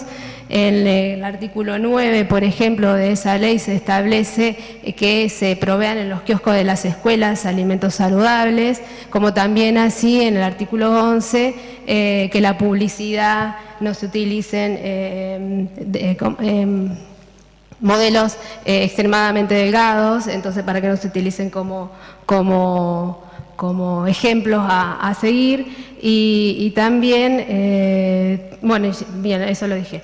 Y mm, otra de las eh, cuestiones importantes, bueno, ya, ya, bien lo dice durante, eh, en el proyecto de resolución, los altos índices de obesidad en la población infantil, entonces eh, la verdad que, es una herramienta muy, muy importante y apunta fundamentalmente a la salud. Otra, otra de las cuestiones es algo que se venía presentando hace mucho tiempo y que no, no había un acuerdo porque había por ahí intereses de lo que es el sector agroindustrial en la que se prevalecía el consumo y no la salud. Entonces se puso eso en debate y hoy tenemos eh, una unificación de criterios en los distintos sectores políticos que, se, que pudieron eh, llevar a cabo este, este proyecto de ley que ya está aprobado en senadores, eh, en diputados primero, ¿no? Y ahora va a senadores. Así que, además está decir que vamos a acompañar este proyecto de resolución. Gracias, señor presidente. Queda aprobado entonces por unanimidad el proyecto de resolución expediente original 295-2020. Pasamos al punto F de los asuntos de entrados, proyecto de comunicación solicitando al intendente municipal y por su intermedio a quien corresponda reparación calle 25 de mayo entre San Martín y Moreno, expediente original número 291-2020.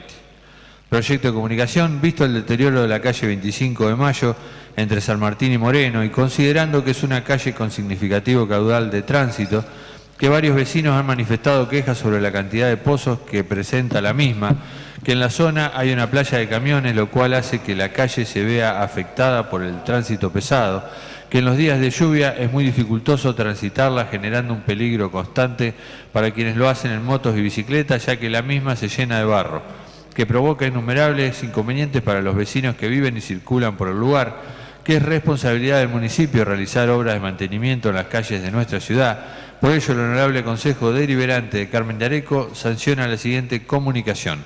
Artículo primero, solicitar al señor Intendente Municipal, doctor Iván Villagrán, y por su intermedio, a quien corresponda, se repare con urgencia la calle 25 de Mayo entre San Martín y Moreno. Artículo segundo de forma, hay cinco firmas, eh, concejal Karina Heffler, concejal Marcela Gini, concejal Nicolás McDermott, concejal Alejandro Fernández Romero, concejal Eduardo Campos, interbloque Juntos por el Cambio. Concejal Nicolás McDermott tiene la palabra. Gracias, señor presidente. Un proyecto de comunicación muy simple y sencillo, eh, a pedido de algunos de los vecinos de la calle 25 de Mayo. 25 eh, de Mayo entre Moreno y San Martín, tiene Moreno y San Martín están asfaltadas, y 25 de Mayo hacia el este y hacia el oeste también eh, está em, asfaltada. Ha quedado ese tramo inconcluso sin asfaltar desde hace muchísimo tiempo y la verdad que como rezan considerando, tiene un tránsito pesado considerable, es un lugar donde puede transcurrir y donde puede andar el, el tránsito pesado y es por eso que pedimos y solicitamos al Poder Ejecutivo que arbitre los medios necesarios para poder eh, reparar dicha calle y generar eh, todas las cuestiones de seguridad correspondientes. Gracias, señor presidente. Concejal Sergio Dinardi tiene la palabra. Gracias, señor presidente. Estoy de acuerdo con lo que acaba de comentar el concejal McDermott. Es una calle de tierra que quedó entre cuatro cuadras de asfalto, eh, totalmente descolgada, pobre calle, donde mm, sobre todo la calle de asfalto, la que está más rota, San Martín, hay unos tremendos pozos. Bueno, em, como dijimos en sesiones anteriores, ha llegado el dinero este, para poder hacer los bacheos correspondientes, así que bueno, esa calle se va a intervenir en el, en el corto plazo, hablo de la de asfalto, y la calle de tierra, que bueno, necesita trabajo de máquina para hacer el zanjeo y un alteo, porque realmente está mal esa calle, no tiene zanja tampoco. Este, se va a poder intervenir, ya consideramos que en los próximos días, porque está llegando la motoniveladora para el sector agropecuario, lo cual liberaría una de las motoniveladoras chiquitas que va a pasar a trabajar en el casco urbano y vamos a poder dar solución más rápido a todos estos problemas que nos tienen muy ocupados. Así que nada, este, acompañamos este proyecto de comunicación y por supuesto estamos al tanto y se le va a dar respuesta a los vecinos. Gracias, señor presidente. Concejal Fernando Rico tiene la palabra. Gracias, señor presidente. Bueno, simplemente es para dar acompañamiento al proyecto. Es un proyecto simple, así que cuanto antes se solucione, mejor será para la vida de los vecinos. Gracias, señor presidente. Gracias. Queda aprobado entonces eh, por unanimidad el proyecto de comunicación expediente original 291-2020. Pasamos al punto G de los asuntos de entrados, proyecto de comunicación solicitando al intendente municipal tome medidas a fin de subsanar la situación de falta de agua en nuestro distrito Expediente original número 293-2020. Proyecto de comunicación, visto los reclamos de los vecinos por los reiterados cortes de agua o la escasez de la misma en el partido de Carmen Areco y considerando que la resolución 64-292 de la Asamblea General de las Naciones Unidas reconoció explícitamente el derecho humano al agua y al saneamiento, reafirmando que un agua potable limpia y el saneamiento son esenciales para la realización de todos los derechos humanos que la resolución exhorta a los estados a proporcionar un suministro de agua potable y saneamiento saludable, limpio, accesible y, asequible para todos. Que mm, en noviembre de 2012 el Comité de Derechos Económicos, Sociales y Culturales adoptó la observación general número 15 sobre el derecho al agua, cuyo artículo 1 establece que el derecho humano al agua es indispensable para una vida humana digna la observación número 15 también define el derecho al agua como el derecho de cada uno a disponer de agua suficiente, saludable, aceptable, eh, físicamente accesible y, asequible para su uso personal y doméstico. Que la carencia de la misma es eh, sistemática y sin horario, donde puede haber mayor o menor caudal de la misma. Que dado que se viene la época estival, donde la utilización de este bien derecho es eh, aún mayor, por ello, el Honorable Consejo Liberante de Carmen de Areco, en uso de sus facultades que le son propias, sanciona la siguiente comunicación. Artículo primero, solicitar al Intendente Municipal, doctor Iván Darío Villagrán, y por su intermedio a los funcionarios que corresponda, tomar las medidas necesarias para subsanar esta situación de falta de agua sistemática en nuestro distrito a nuestros vecinos del partido de Carmen Areco. Artículo segundo, de forma Hay cinco firmas, concejal Karina Heffler, concejal Nicolás McDermott, concejal Alejandro Fernández Romero, concejal Eduardo Campos, concejal Marcela Gini, interbloque Juntos por el Cambio. Concejal eh, Karina Heffler tiene la palabra. Gracias, señor presidente. Bueno, es un proyecto de comunicación que traemos a colación debido a la queja de los vecinos eh, de que no hay agua. Eh, generalmente eh, no había agua por ahí en el día, entonces todas las personas que lavamos la ropa en casa esperábamos poner lavarropas a la noche, por ejemplo. Bueno, últimamente tampoco lo podíamos hacer. Entonces, eh, presentamos este proyecto de comunicación y quiero no dejar pasar la oportunidad de agradecerle al concejal Dinardi de un pedido que hice sobre comunicación sobre la calle Castelli y la mañana en que estaban arreglando la calle Castelli me mandó una foto mostrándome que estaba arreglando la calle. Entonces, eh, sé que lo que reclamemos no cae en bolsa vacía, entonces es por eso que eh, uno se anima a pedir cada vez más eh, para que los derechos de los vecinos eh, sean respetados y tanto un derecho tan importante como es el derecho al agua. Eh, así que es un proyecto de comunicación simple y pido el acompañamiento de las otras fuerzas. Gracias, señor presidente. Concejal Lorena Martinich, tiene la palabra. Gracias, señor presidente. Bueno, eh, como bien decía Karina, es un proyecto de comunicación simple. Eh, si bien desde nuestro bloque no tuvimos eh, reclamos con respecto al agua, pero bueno, seguramente si la concejal los está manifestando, seguramente hubo en algunos sectores, así que por supuesto que acompañamos el proyecto de comunicación. Gracias, señor presidente. Concejal Sergio Dinardi tiene la palabra. Gracias, señor presidente. Bueno, por supuesto vamos a acompañar este proyecto de comunicación. Voy a dar algunas explicaciones con relación a qué es lo que está pasando y cómo se va a solucionar. En mis palabras, por supuesto, no soy un, técnico en la materia. Eh, en, este momento hay ocho bombas trabajando a pleno este, en Carmen de Areco, lo que proveen de agua a todo el pueblo. Habiendo hecho un diagnóstico en el primer semestre de la Secretaría de Planificación, se determina una serie de obras para dar solución definitiva este, en un plazo en años, es decir, para poder solucionar en años el crecimiento del pueblo, por lo cual se hace un pedido al Ministerio de, de la Nación de Obras Públicas y se nos otorgan las, en dos etapas todas las obras que se pidieron. 5.000 metros lineales de tendido de red se están haciendo en este momento. Esa obra va a terminar el mes de marzo y en abril arranca una obra que es mucho más ambiciosa, que son 8.000 metros lineales más de tendido de red, pero eso incluye la normalización de todos estos problemas que estamos teniendo. Se van a hacer tres perforaciones nuevas con tres bombas nuevas y se va a buscar la estabilización de la red. ¿Qué significa? Bueno, estabilizar la tensión para que no suframos los cortes de, energía que se están sufriendo, lo que hacen que haga vacío los caños y después cueste mucho que vuelvan a llenarse de agua. Eh, lo digo con mis palabras, por favor que se entienda. Va a ser provisto de banco de baterías para que si se corta la luz sigan funcionando las bombas, esto va a evitar los arranques abruptos y que se quemen las bombas, por supuesto, y este, un sistema de monitoreo a distancia, para lo cual eh, cualquier funcionario, el secretario de planificación lo puede estar monitoreando desde su teléfono cómo están trabajando la presión de cada bomba, para evitar roturas o, problemitas. Eh, eso va a evitar trabajo de horas hombre, el contacto permanente con el agua, que es lo que hay que evitar, pérdidas, etcétera, etcétera, etcétera.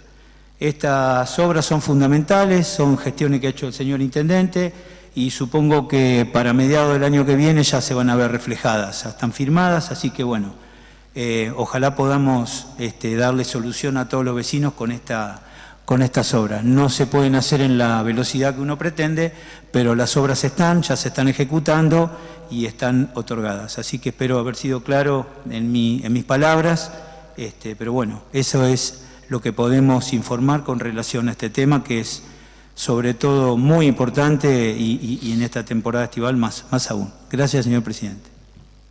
Queda aprobado entonces eh, el proyecto de comunicación por unanimidad, expediente original 293-2020.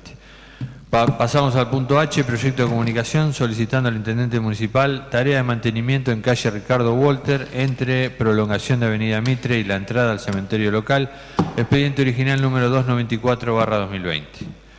Proyecto de comunicación, visto en reiteradas oportunidades el estado de la calle Ricardo Walter, calle que conduce a la entrada de nuestro cementerio municipal y considerando que es paso obligado en los acompañamientos fúnebres de despedida de nuestros vecinos que la queja constante es el mal mantenimiento de esa calle de ese tramo Ricardo Walter entre prolongación Avenida Mitre y la entrada al, al, cementerio municipal, que en algunos casos el acompañamiento fúnebre se efectúa por ruta 51 con toda la peligrosidad que trae aparejado ese salvoconducto, que el adecuado mantenimiento de las calles es un derecho esencial de los vecinos quienes con sus impuestos, tasas y contribuciones aportan económicamente al sistema y por lo tanto deben ser retribuidos en forma eficaz, pronta y de acuerdo a sus necesidades.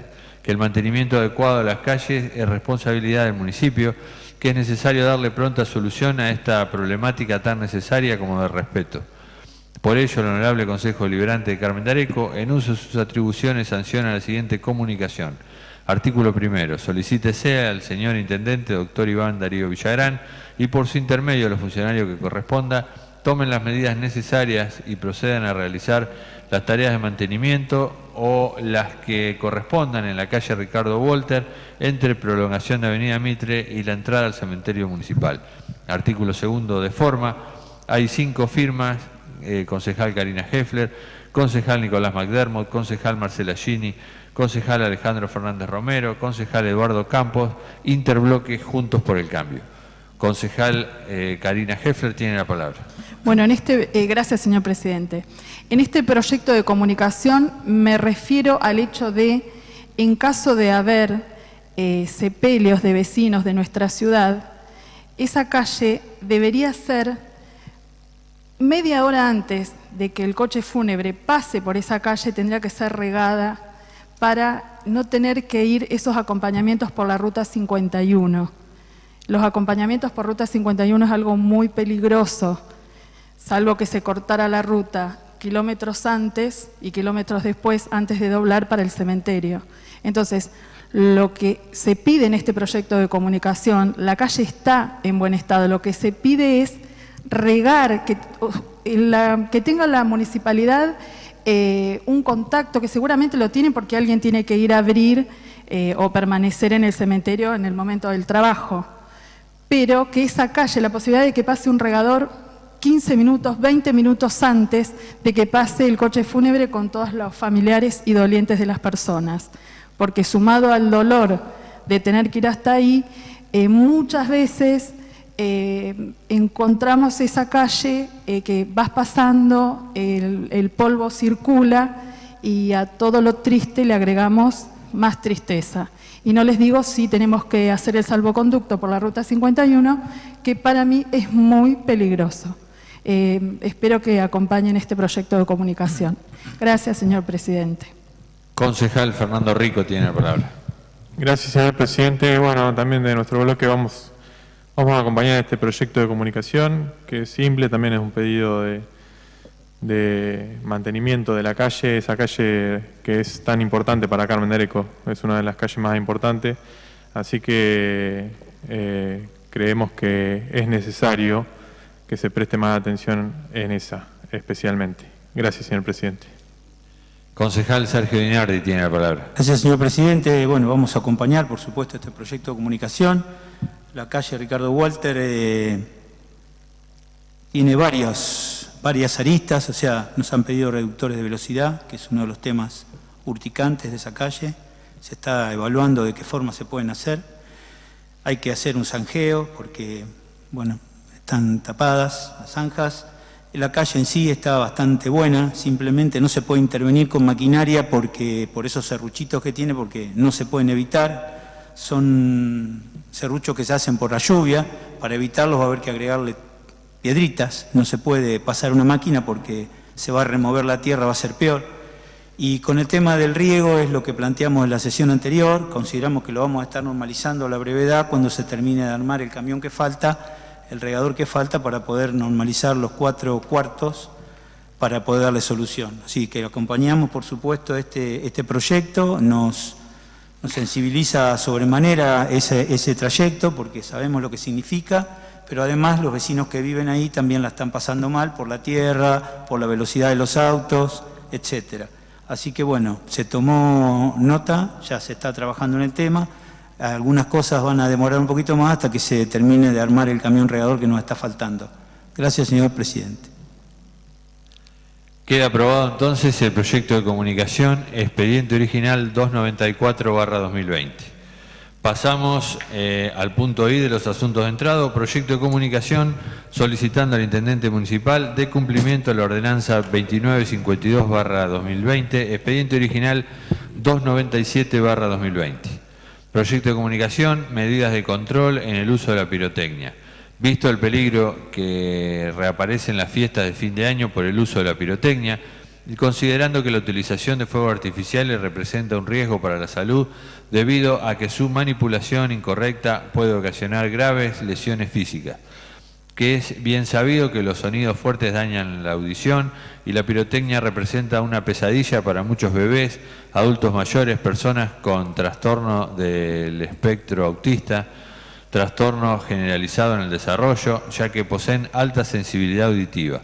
Los fuegos artificiales y elementos similares pueden provocar quemaduras y daños oculares en las personas, asustar y lastimar animales y afectar el ambiente. Que si bien hubo muchos intentos, la ley y ordenanzas que proclamaron pirotecnia cero, la Corte Suprema de la Provincia de Buenos Aires declaró inconstitucional la prohibición de la pirotecnia, sentencia que rige desde 2018 que Carmen de Areco cuenta con la ordenanza 73-18 en la cual reglamenta los controles de comercialización de artículos pirotécnicos, como así también la realización de campañas de información, educación y difusión referentes a concientizar sobre las consecuencias nocivas para la salud y el ambiente del uso del mismo, que parecería ser un hábito difícil de erradicar a pesar de los numerosos y graves riesgos que conlleva su uso somos consumidores y tenemos poder de dueños de mercado. Proteger a nuestras familias y animales es un deber ciudadano. Por ello, el Honorable Consejo Deliberante de Carmen Areco, en uso de sus atribuciones, sanciona la siguiente comunicación. Artículo primero, solicitar al Intendente doctor Iván Villagrán la difusión y cumplimiento de la Ordenanza 73-18. Artículo segundo, de forma. Hay cinco firmas, concejal Karina Heffler, concejal Marcela Gini, concejal Nicolás McDermott, concejal Eduardo Campos, concejal Alejandro Fernández Romero, interbloque Juntos por el Cambio. Concejal Marcela Gini tiene la palabra. Gracias, señor presidente. Buenas noches, concejales y vecinos carmenios. Primero tengo que aclarar que hay un error, que la ordenanza es la 2952 barra 2020. Hubo un error tipiado por mí y lo corrigió el concejal Nicolás McDermott. Bueno, em, el año pasado, para esta época, todo el pueblo, Carmen de Areco, estaba totalmente conmocionado por un video que se hizo viral que hicieron los chicos con espectro autista. En respuesta, el oficialismo hizo una ordenanza de pirotecnia cero que lamentablemente ya del 2018 la Corte Suprema de la provincia de Buenos Aires declaró inconstitucional todas las ordenanzas de pirotecnia cero. Eh, pero sí nuestro, nuestro, este, nuestro partido tiene la, la ordenanza 2952 que habla justamente de trabajar, de informarnos, de difundir, de hacer campañas y de controlar la venta y sobre todo el almacenamiento de pirotecnia. Eh, es lo que podemos hacer ante este grave problema que, como se detalló, afecta muchísimo a muchísimos, a muchísimas personas, los de espectro autista, los de eh, cualquier persona que tenga una hipersensibilidad a los sonidos. Además, el 50% de los chicos que eh, sufren por la son chicos, tenemos las quemaduras, problemas de manos, falta de pérdida de, extremidades, problemas oculares. Son muy serios los problemas. Esto ya lo venimos trabajando durante muchos años. ¿Y por qué lo traigo? Porque realmente estamos a tiempo de empezar las campañas y de hacer los controles, tal cual dice la ordenanza del 2018. Y es muy importante ya empezar. El año pasado eh, llegó justo casi el 30 de diciembre y es la cual no se pudo trabajar. Por eso yo la traigo ahora a principios de diciembre. Y también quiero recordar que gracias a el video y a la concientización, porque esto es un cambio cultural que nos va a llevar mucho tiempo, a todos nos gustan los juegos artificiales, a mí personalmente me encantan, pero hay que empezar a cambiar las formas de festejo, tal cual como lo dice la ordenanza, y empezar a cambiar porque hay muchas personas que sufren, también están los animales, la gente adulta, lo mismo que con los ruidos molestos, exactamente igual. Y eh, es muy importante ya empezar ahora, sobre todo con los controles, porque el año pasado eh, recuerdo que bajó muchísimo el uso de la pirotecnia. Entonces, como los argentinos tenemos memoria corta, es importante empezar y recordar y volver a trabajar porque los cambios culturales llevan mucho tiempo. Esperemos este, que este año también sea un año con mucho menos pirotecnia, porque está en nosotros cuidarnos entre todos. Eh, gracias, señor presidente. Concejal Lorena Martínez tiene la palabra. Gracias, señor presidente. Bueno, por supuesto que vamos a acompañar. Eh, como decía la concejal Gini, es muy importante esto de hacer campañas, es muy importante que tomemos conciencia del daño que, sufren eh, aquellos niños que, padecen eh, esas enfermedades y que tienen sensibilidad auditiva. Así que me parece muy oportuno empezar a trabajar desde ahora. Recuerdo que en Carmen de Areco ya desde el año pasado bajó mucho el consumo de pirotecnia, así que bueno, apelamos a que este año siga en esa línea, que nos pongamos en el lugar del otro, que desarrollemos la empatía y que, bueno, busquemos otras maneras de, festejar eh, en estas fiestas. Gracias. Concejal Sergio Dinardi tiene la palabra. Gracias, señor presidente. Por supuesto, vamos a acompañar este proyecto. Personalmente es un tema que me, me toca muy de cerca y, bueno, eh, se va a hacer una campaña importante eh, de prensa, por supuesto, pero además los controles los puede ejercer la policía, en este caso para que se cumplan a rajatabla, si bien este, la Corte de la provincia creo que declaró inconstitucional, este, los requisitos que tienen que tener los comercios para tener este, pirotecnia son importantísimos. Así que si ejercemos bien los controles, llegamos a la pirotecnia cero, porque no le va a ser redituable este, a los comercios poder comercializarla. Y con relación, fomentar la pirotecnia lumínica sin, sin que sea sonora, que nos vamos a divertir todos y, todos la vamos a pasar un poquito mejor. Eh, se está trabajando desde producción, de, bueno, las áreas que correspondan para que la pasemos lo mejor posible y que todos pasemos fiestas en paz, este, con la nueva normalidad que nos toca vivir. Pero bueno, este, sí, estamos atentos al tema y por supuesto acompañamos el proyecto. Gracias, señor presidente. Concejal Fernando Rico tiene la palabra. Gracias, señor presidente. No, simplemente una duda que me genera. Al final, eh, este proyecto solicita que se cumpla la ordenanza. Sí. ¿Que hizo el Ejecutivo o que hizo Cambiemos en el 2018? Eso me, genera duda nada más. La, ordenanza la hizo justamente, el autor fue Eduardo Campos. Por eso, es, entonces es el, 2018. Está bien el articulado así como está. Porque después el Ejecutivo hizo una que es la que es eh, pirotecnia cero. Exacto. Esta regula la, venta y la, actual es... Eh, pirotecnia cero. Pirotecnia cero. Esa es la actual. No, simplemente esa duda para que quede claro ahí en el articulado. Pero pirotecnia cero no, no puede ir, o sea, es la 7318 entonces... Yo sugeriría que se coloquen las dos eh, ordenanzas, o sea, que se cumpla a rajatabla eh, el tema de, control y la posibilidad de, mermar el uso de pirotecnia hasta eh, que en Carmen de Areco exista pirotecnia cero. Así que me parece que sería adecuado colocar los dos, si están de acuerdo, colocamos los dos números. Está bien, está bien, ahí tuvo el error mío, entonces de acuerdo. Queda aprobado entonces con las modificaciones sugeridas el proyecto de comunicación expediente original 297-2020. Pasamos eh, al punto J del orden del día, proyecto de comunicación solicitando al intendente municipal comunique a este honorable cuerpo estrategia sobre la implementación del proyecto de separación de residuos sólidos urbanos, expediente original número 298-2020.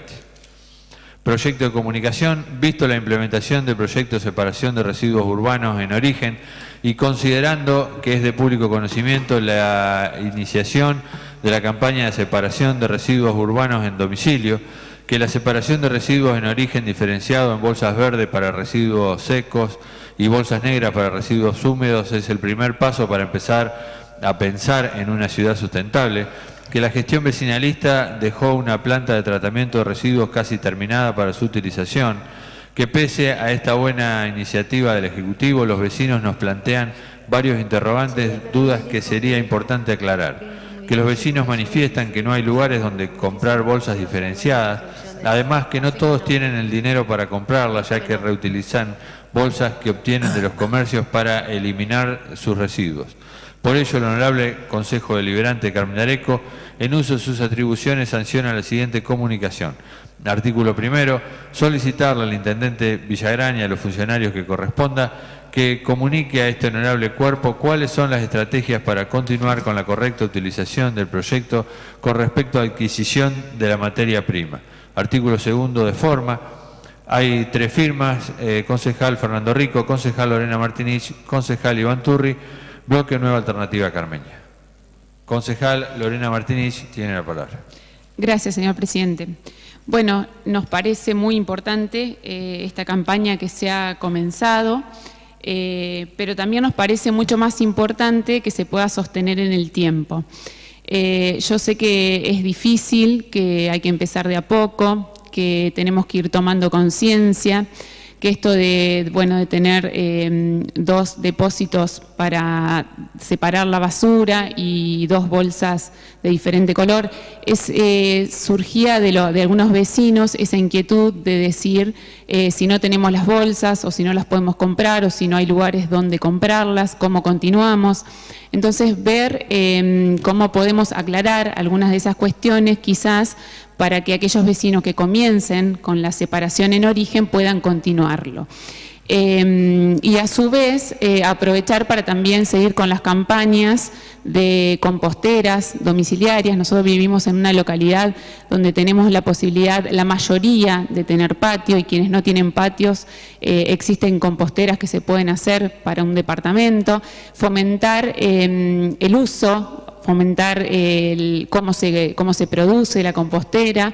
Em, y así también las botellas de amor, como para ir reduciendo no solamente esta separación, sino que además se puede ir reduciendo eh, esa basura. Así que simplemente eh, decir que em, estamos felices de ver que, que se comenzó con este proyecto, sé que es en diferentes partes de la ciudad, pero bueno, nos, motiva mucho la idea de que se continúe en el tiempo, por eso nos parece importante que se siga ampliando, que se siga comunicando y que a lo mejor se pueda hacer algún tipo de convenio con los comerciantes o que desde producción se puedan comunicar con los comerciantes para eh, asegurarnos de que todos tengan las bolsas de residuo, eh, en fin, tratar de, colaborar y, estar a disposición, por supuesto, nosotros como, bloque en lo que necesiten, porque realmente eh, nos parece que el cuidado de, de, la ecología y del planeta es un tema de mucha importancia.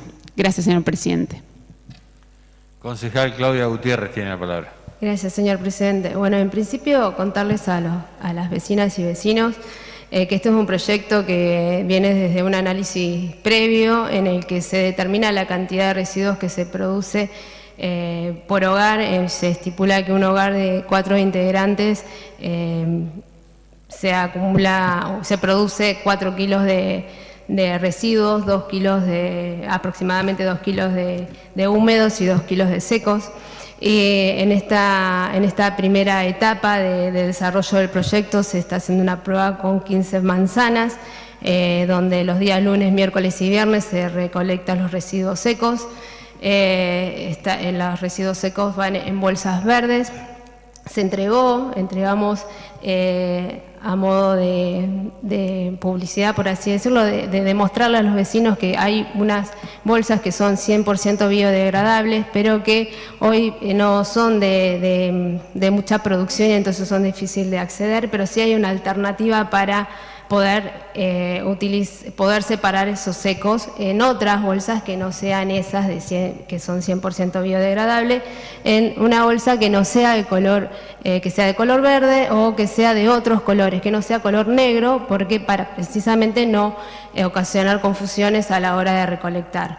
Lo que es negro va en húmedos y lo que es seco va en, en bolsas de otros colores.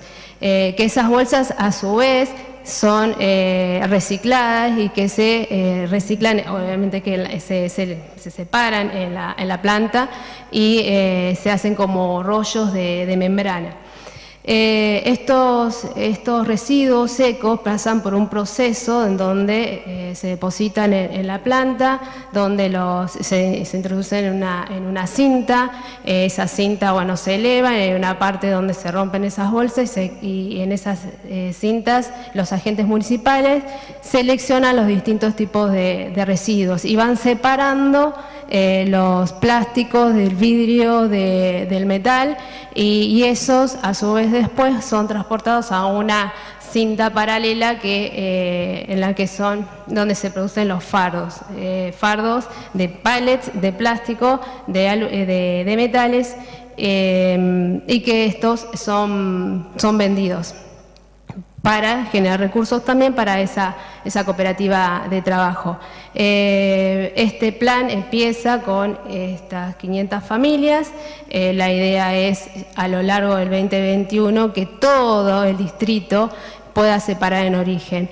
La estrategia por ahí de la separación de origen, la separación de residuos en origen, es para garantizar la bioseguridad del personal que va a hacer esa separación de esos, de esos residuos. Eh, es un plan a largo plazo y lleva tiempo y concientización, pero hay un compromiso de esta gestión de eh, que nuestra ciudad sea sustentable y para eso se está trabajando. Gracias, señor presidente. Concejal Nicolás McDermott tiene la palabra. Gracias, señor presidente. Me parece muy interesante que el municipio de Carmen de luego de muchísimos años, tenga por primera vez la posibilidad de tener una prueba piloto en 40 manzanas de Carmen de eh, de clasificación de residuos en origen.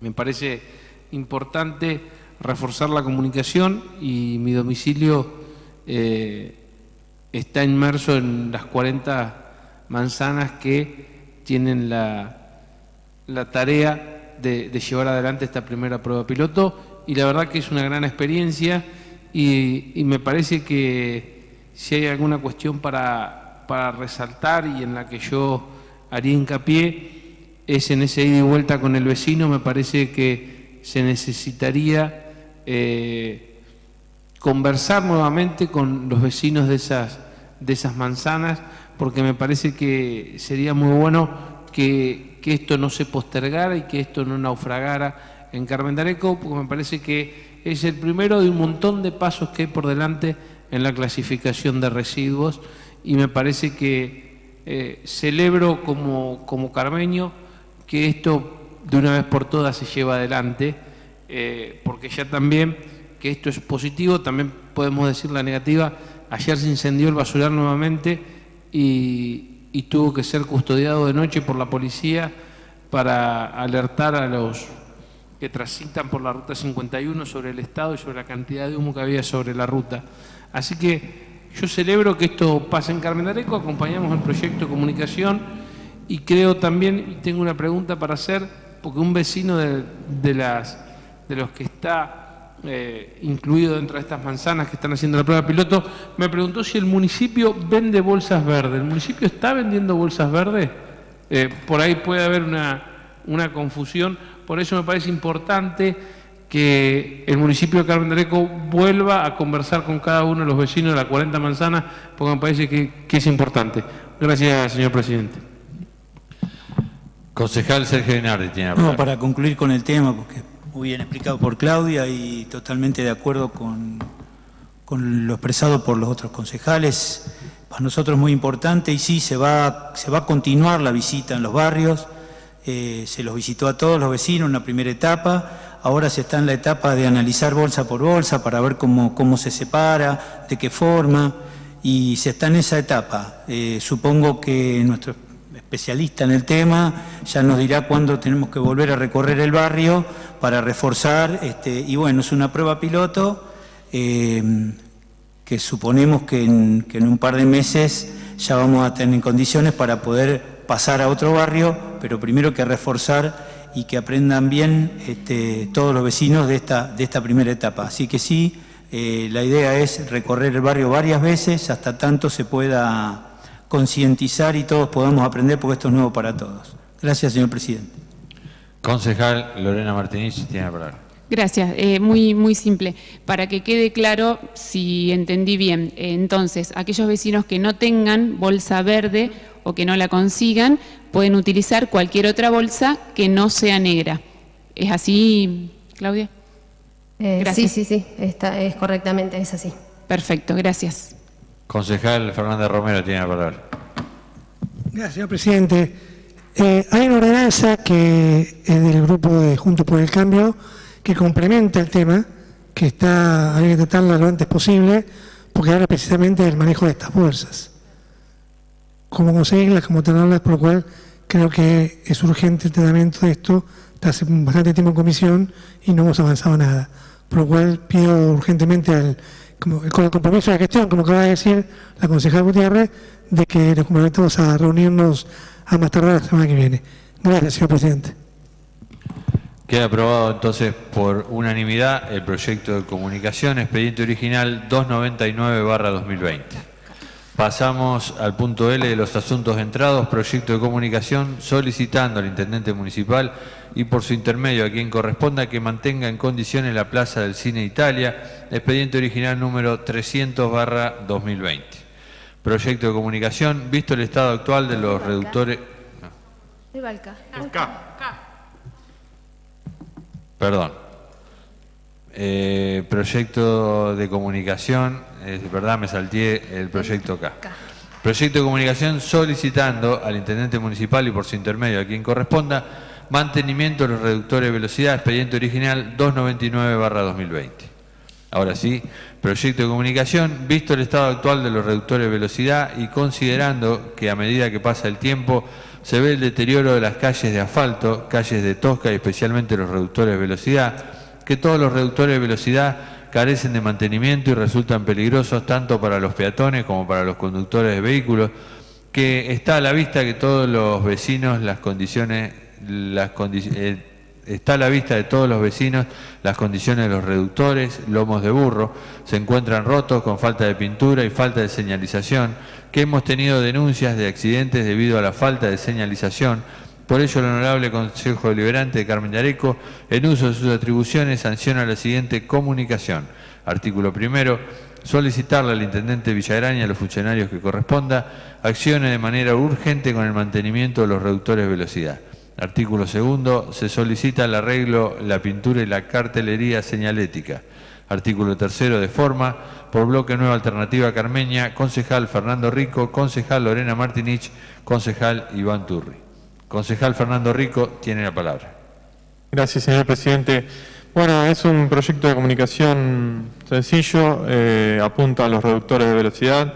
Lo que vemos es que hay reductores de velocidad que data de mucho tiempo eh, y que fueron creados, digamos, hace mucho tiempo y que por ahí el paso del tiempo hace que eh, se pierdan los carteles de señalización o que la pintura se vaya gastando y eso genera eh, un peligro para, para las motos, para las bici, para los autos.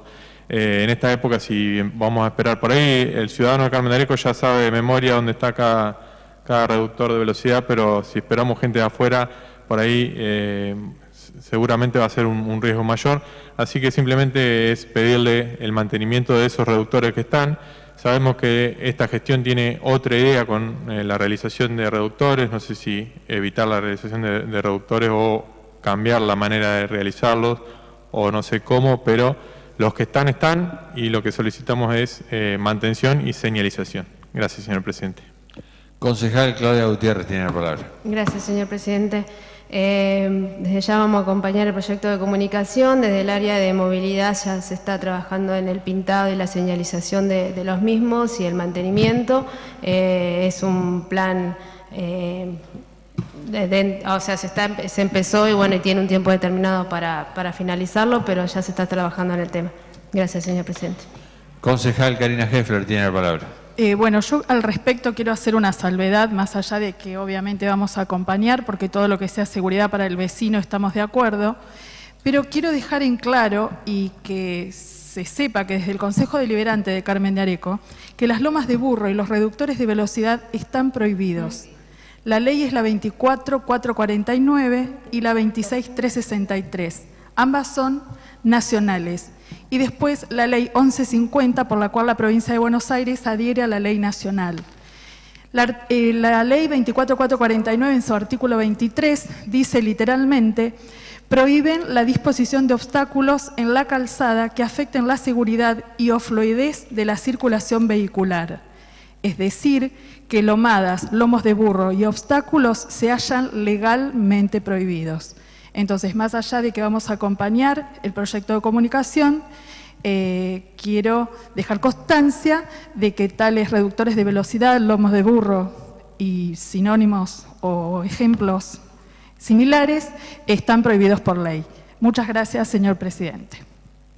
Concejal Sergio Dinardi tiene la palabra. Gracias, señor presidente. Sí, para aclarar también el tema. Se está trabajando en un plan de mesetas o badenes. Va a ser un badenes más difícil en Carmen de Areco, pero sí en un plan de mesetas para ir eliminando paulatinamente las lomas de burro que sabemos que por ley están prohibidas. Ya lo hemos tocado en otras sesiones este tema y bueno, eh, lo, que indica que no, lo que no indica que no tengamos que pintar los que están porque si no es peor.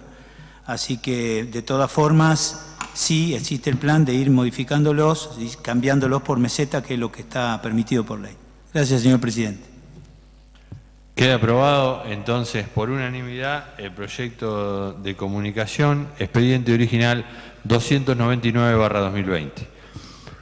Pasamos al siguiente, punto L, proyecto de comunicación, solicitando al intendente municipal y por su intermedio a quien corresponda que mantenga en condiciones la plaza del Cine Italia, expediente original número 300-2020.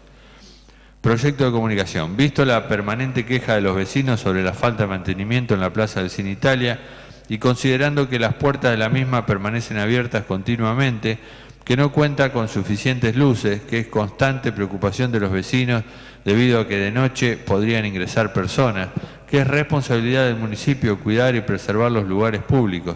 Por ello, el Honorable Consejo Deliberante de Carmen de Areco, en uso de sus atribuciones, sanciona la siguiente comunicación Artículo primero. Solicítese al señor Intendente Municipal Iván Villagrán y por su intermedio, a quien corresponda, que se mantenga en condiciones la Plaza del Cine Italia. Artículo segundo de forma. Hay cinco firmas, concejal Karina Heffler, concejal Marcela Gini, concejal Nicolás McDermott, concejal Alejandro Fernández Romero, concejal Eduardo Campos, interbloque Juntos por el Cambio. Concejal eh, Nicolás McDermott tiene la palabra. Gracias, señor presidente. Un proyecto de comunicación que también surge por el reclamo de, algunos vecinos.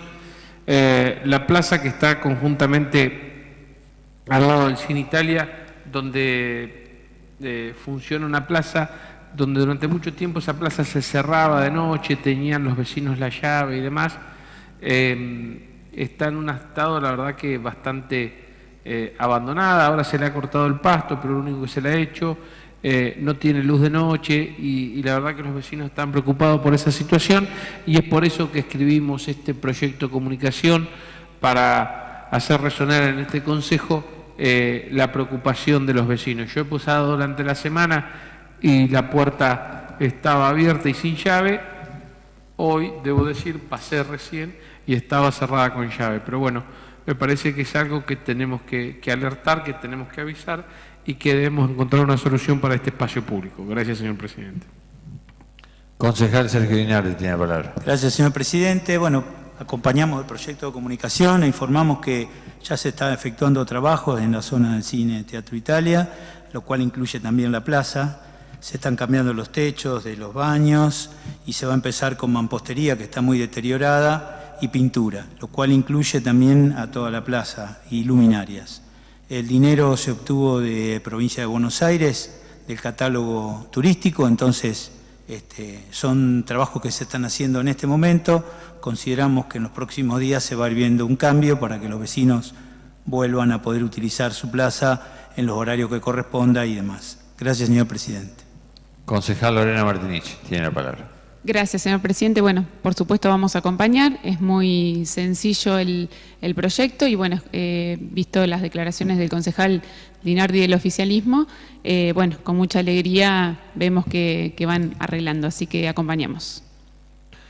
Queda aprobado entonces el proyecto de comunicación eh, punto L, expediente original 300 barra 2020. Pasamos al punto M del orden del día, proyecto de comunicación solicitando al Departamento Ejecutivo Municipal si solicitó y contrató un artista local para pintar un mural de Néstor Kirchner en la calle Rivadavia, casi esquina Belgrano, expediente original número 301-2020.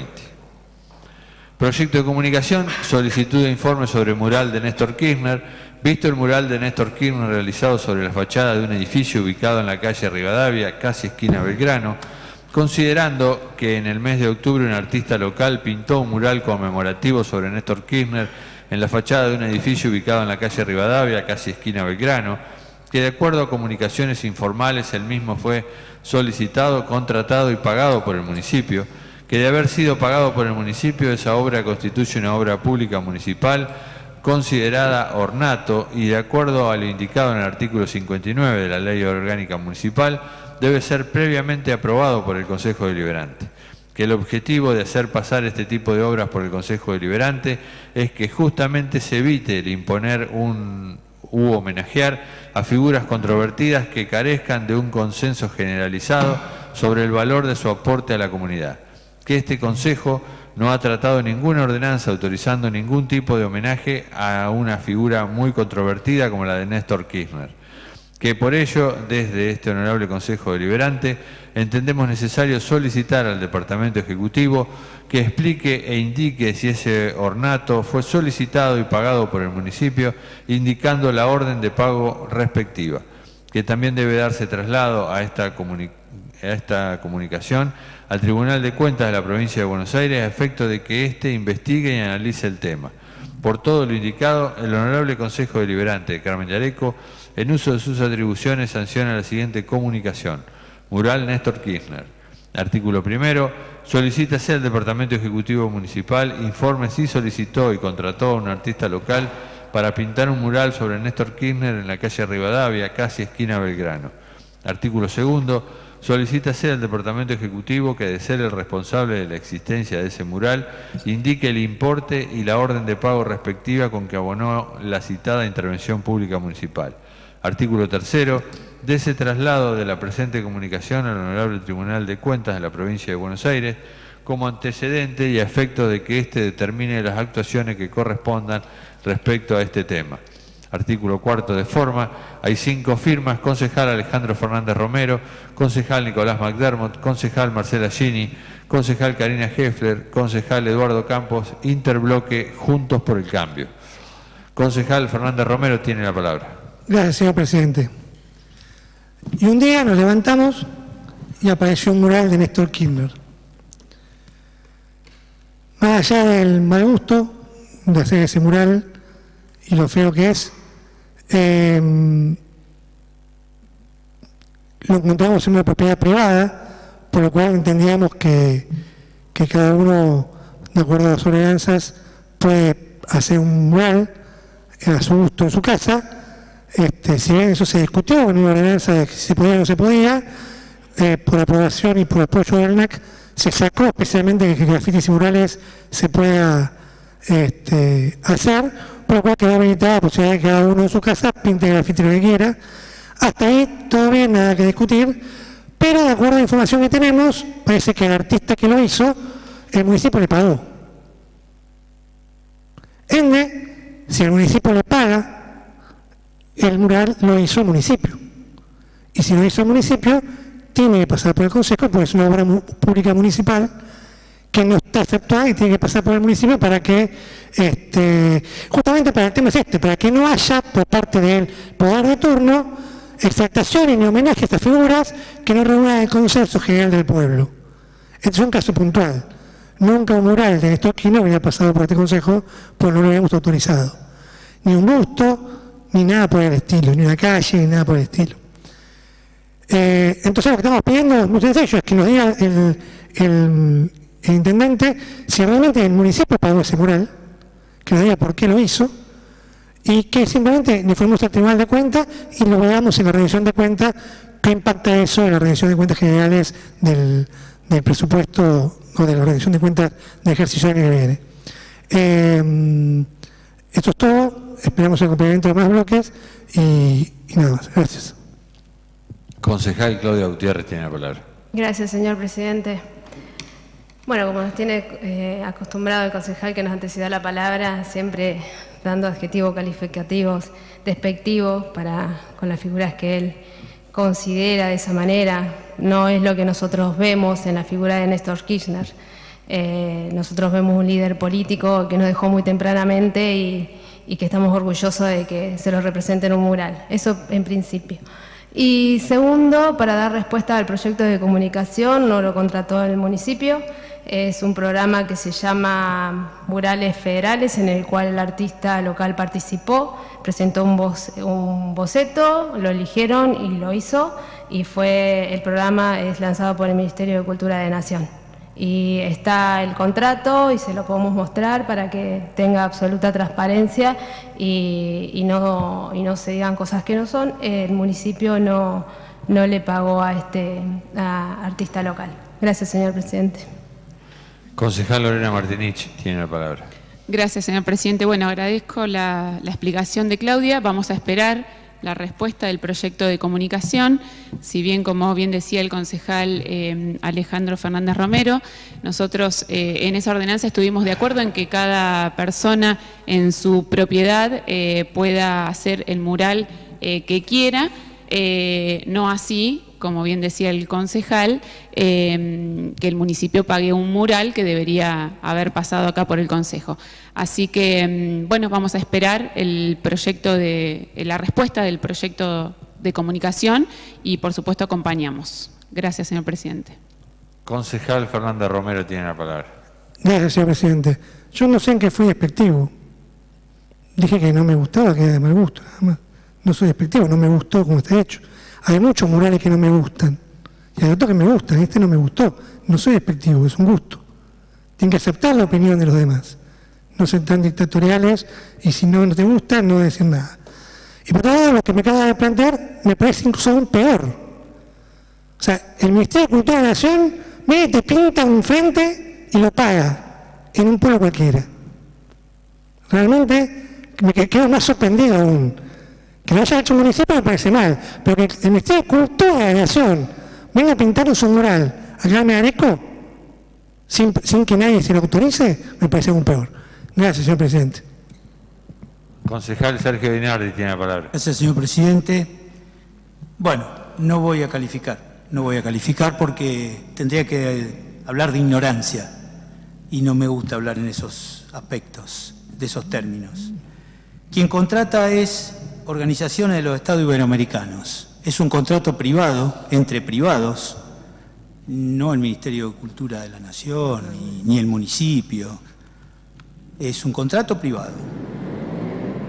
El proyecto de comunicación al cual acompañamos pide si el municipio pagó ese mural. No, no lo pagó. Punto. No hay más explicaciones. No hay más explicaciones. En, un, en una pared privada se pinta un mural. Le guste o no le guste. Quiero, por favor, si usted me lo permite, felicitar al artista local, el Chino Vergara, que hizo un gran trabajo, fue elegido para hacerlo, así que bueno, lo quiero felicitar desde acá. Y lo demás es todo subjetivo, lo demás es todo subjetivo. Gracias, señor presidente. Concejal Fernanda Romero tiene la palabra. Al final no entendí, ¿lo hizo el Ministerio de Cultura de la Nación o una Ibero no sé qué cuánto de dónde salió? No se entiende, o sea, ¿es una cosa o es la otra? Gracias, señor presidente. El proyecto de comunicación pregunta, ¿lo pagó el municipio? No. Punto. No se habla más del tema. Me parece que es así. Tengo que contestar sobre el proyecto de comunicación. Todo lo demás no tiene sentido. Gracias, señor presidente. Queda aprobado, concejal eh, Nicolás Maguermo. No, gracias, señor presidente. Eh, hay una diferencia y no la hay. Me parece que eh, la Organización de Estados Iberoamericanos es una cuestión y el Estado, veremos cuando venga si lo pagó Cultura, tiene el sellito abajo, si uno lo mira, tiene el sellito del Ministerio de Cultura, no sé si de provincia o de nación, debe ser de nación. Creo que eh, utilizar eh, los fondos públicos para resaltar figuras partidarias es casi fascismo. Y, me parece que, que, vienen de ahí esas prácticas, ¿no? Me parece que es importante dictaminar esto, decir que el partido gobernante, con los fondos de todos, hay una cuestión partidaria. Gracias, señor presidente. Concejal Dinardi tiene la palabra. Puedo comentar también que en la ciudad de Buenos Aires hace unos años el ex jefe de gobierno Mauricio Macri con Gabriela Michetti eh, figuraban en los libros de texto con su color amarillo. Entonces, bueno, nada, era comparar el fascismo. Gracias, señor presidente. Concejal tiene la palabra. No, gracias, señor presidente. Me parece interesante la cuestión, ¿no? Me parece que querer igualar todo y querer decir que todo es lo mismo, ¿no? Me parece que, esto es importante. Me parece que la única denuncia que hay en este momento es que están enseñando el plan fines con libros que obvian, por ejemplo, la CONADEP. Eso es lo que hay. Es un adoctrinamiento puro y duro. Es querer tener un partido hegemónico y olvidarse de todo el resto avasallando todo lo que pasa. Gracias, señor presidente. Concejal Karina Heffer tiene la palabra. Eh, el hecho de que haya en la Ciudad Autónoma de Buenos Aires libros de color amarillo eh, del PRO no quiere decir que nosotros desde el bloque estemos de acuerdo con el adoctrinamiento que puede darse en Capital Federal. Estoy cansada de escuchar del bloque del Frente de Todos hablar de perspectiva de género. Pues hermanos, hablemos también de perspectiva ideológica y de perspectiva partidaria. Entonces, lo que dijo el concejal McDermott a mí me cierra en todo y en parte. Gracias, señor presidente. Concejal Marcela Gini tiene la palabra. Gracias, señor presidente. Eh, todos eh, los libros, eh, si, si, fueron hechos por, la, por el gobierno de la ciudad, llevan el nombre lo mismo con desde Silioni, desde Scioli, Constant, siempre llevan, siempre llevan el nombre de quien lo hizo y quien lo produce. Eso es así de acuerdo a la gestión, pero de toda la vida. Y eso no es adoctrinamiento, sino que el gobierno justamente es el que los hace y el que los pone. Lo pone, están todos los libros de todos lados, no importa el color. Además, eh, he trabajado con los libros del gobierno de Buenos Aires todo el tiempo. Y estaban los nombres del, justamente del jefe de gobierno y nada más. Lo mismo pasa con Nación y con todo, y con todo el material que entregan. Siempre. Gracias, señor presidente. Concejal Linares tiene palabra. No, que pensaba que hay un busto del doctor Alfonsín en la plaza cerca del Sportman. Y yo paso por ahí y la verdad que me encanta verlo. Me encanta verlo. Entonces, nada, eh, tenemos que ser, eh, la diversidad también hace la cuestión, porque si no queda como que Kirchner es feo y malo y el doctor Alfonsín es lindo y bueno. No, yo siento orgullo de verlo al doctor Alfonsín en ese busto y me gusta verlo a Néstor Kirchner como lo pintó un artista local en una pared privada, abonando por privados. Gracias, señor presidente. Concejal Fernando Romero tiene palabra. Gracias, señor presidente. Es importante lo que acaba de decir el concejal Dinardi, porque el busto de Alfonsín fue aprobado por este Consejo. Ahí está el, clave, el punto clave. Si hacemos algo por consenso o somos antidemocráticos, dictatoriales e imponemos figuras controvertidas, que no tienen un consenso sobre lo que realmente fueron y que la historia todavía no lo juzgó. No lo jugó la justicia porque se murió, pero la historia todavía no lo jugó. Alfonsín lo está jugando. Ha hecho cosas bien y ha hecho cosas muy mal. Pero se merece un gusto por ser como el primer presidente del nuevo periodo democrático de este país. Por eso este Consejo lo votó, no por lo que hizo.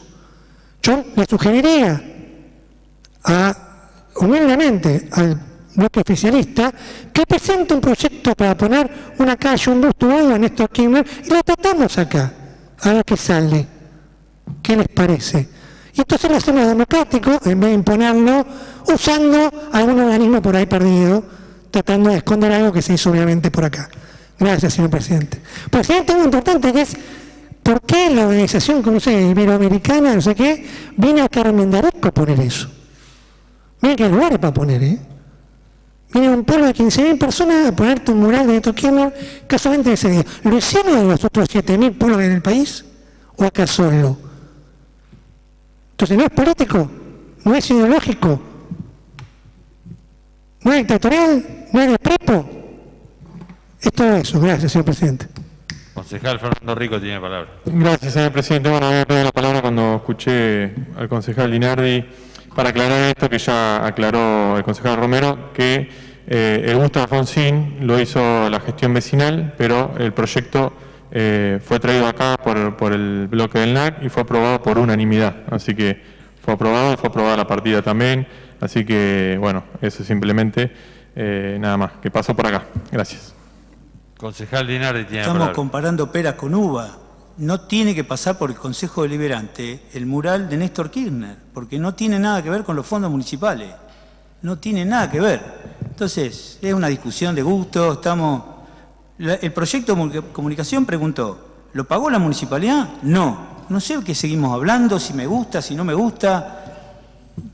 Eh, ¿Los fascistas somos nosotros? No, muchachos, no es así. Miren para adentro un ratito. Gracias, señor presidente. Concejal Fernando Romero, tiene la palabra. Gracias, señor presidente. Em, la pregunta que yo me hago es, ¿queremos en Carmen de que venga algún organismo de algún lado a meternos un mural que nadie pidió? Esa es la pregunta que yo me hago. Yo no quiero. Y creo que el debate no da para más. Es un punto. El concejal de cree que quiere y le gusta que venga cualquiera a pintar cualquier cosa y nosotros creemos que no. Y ese es el punto. Y como tal, yo creo que el tema está determinado, pido moción de votación. Bueno, tengo la moción de votación. Eh, no sé, concejal. De nuestro bloque, que siga libre debate. Si quiere eh, aportar algo al señor Dinardi, que aporte. No tenemos problema. Una sola, señor presidente. En mi eh, carnicería voy a pintar un mural.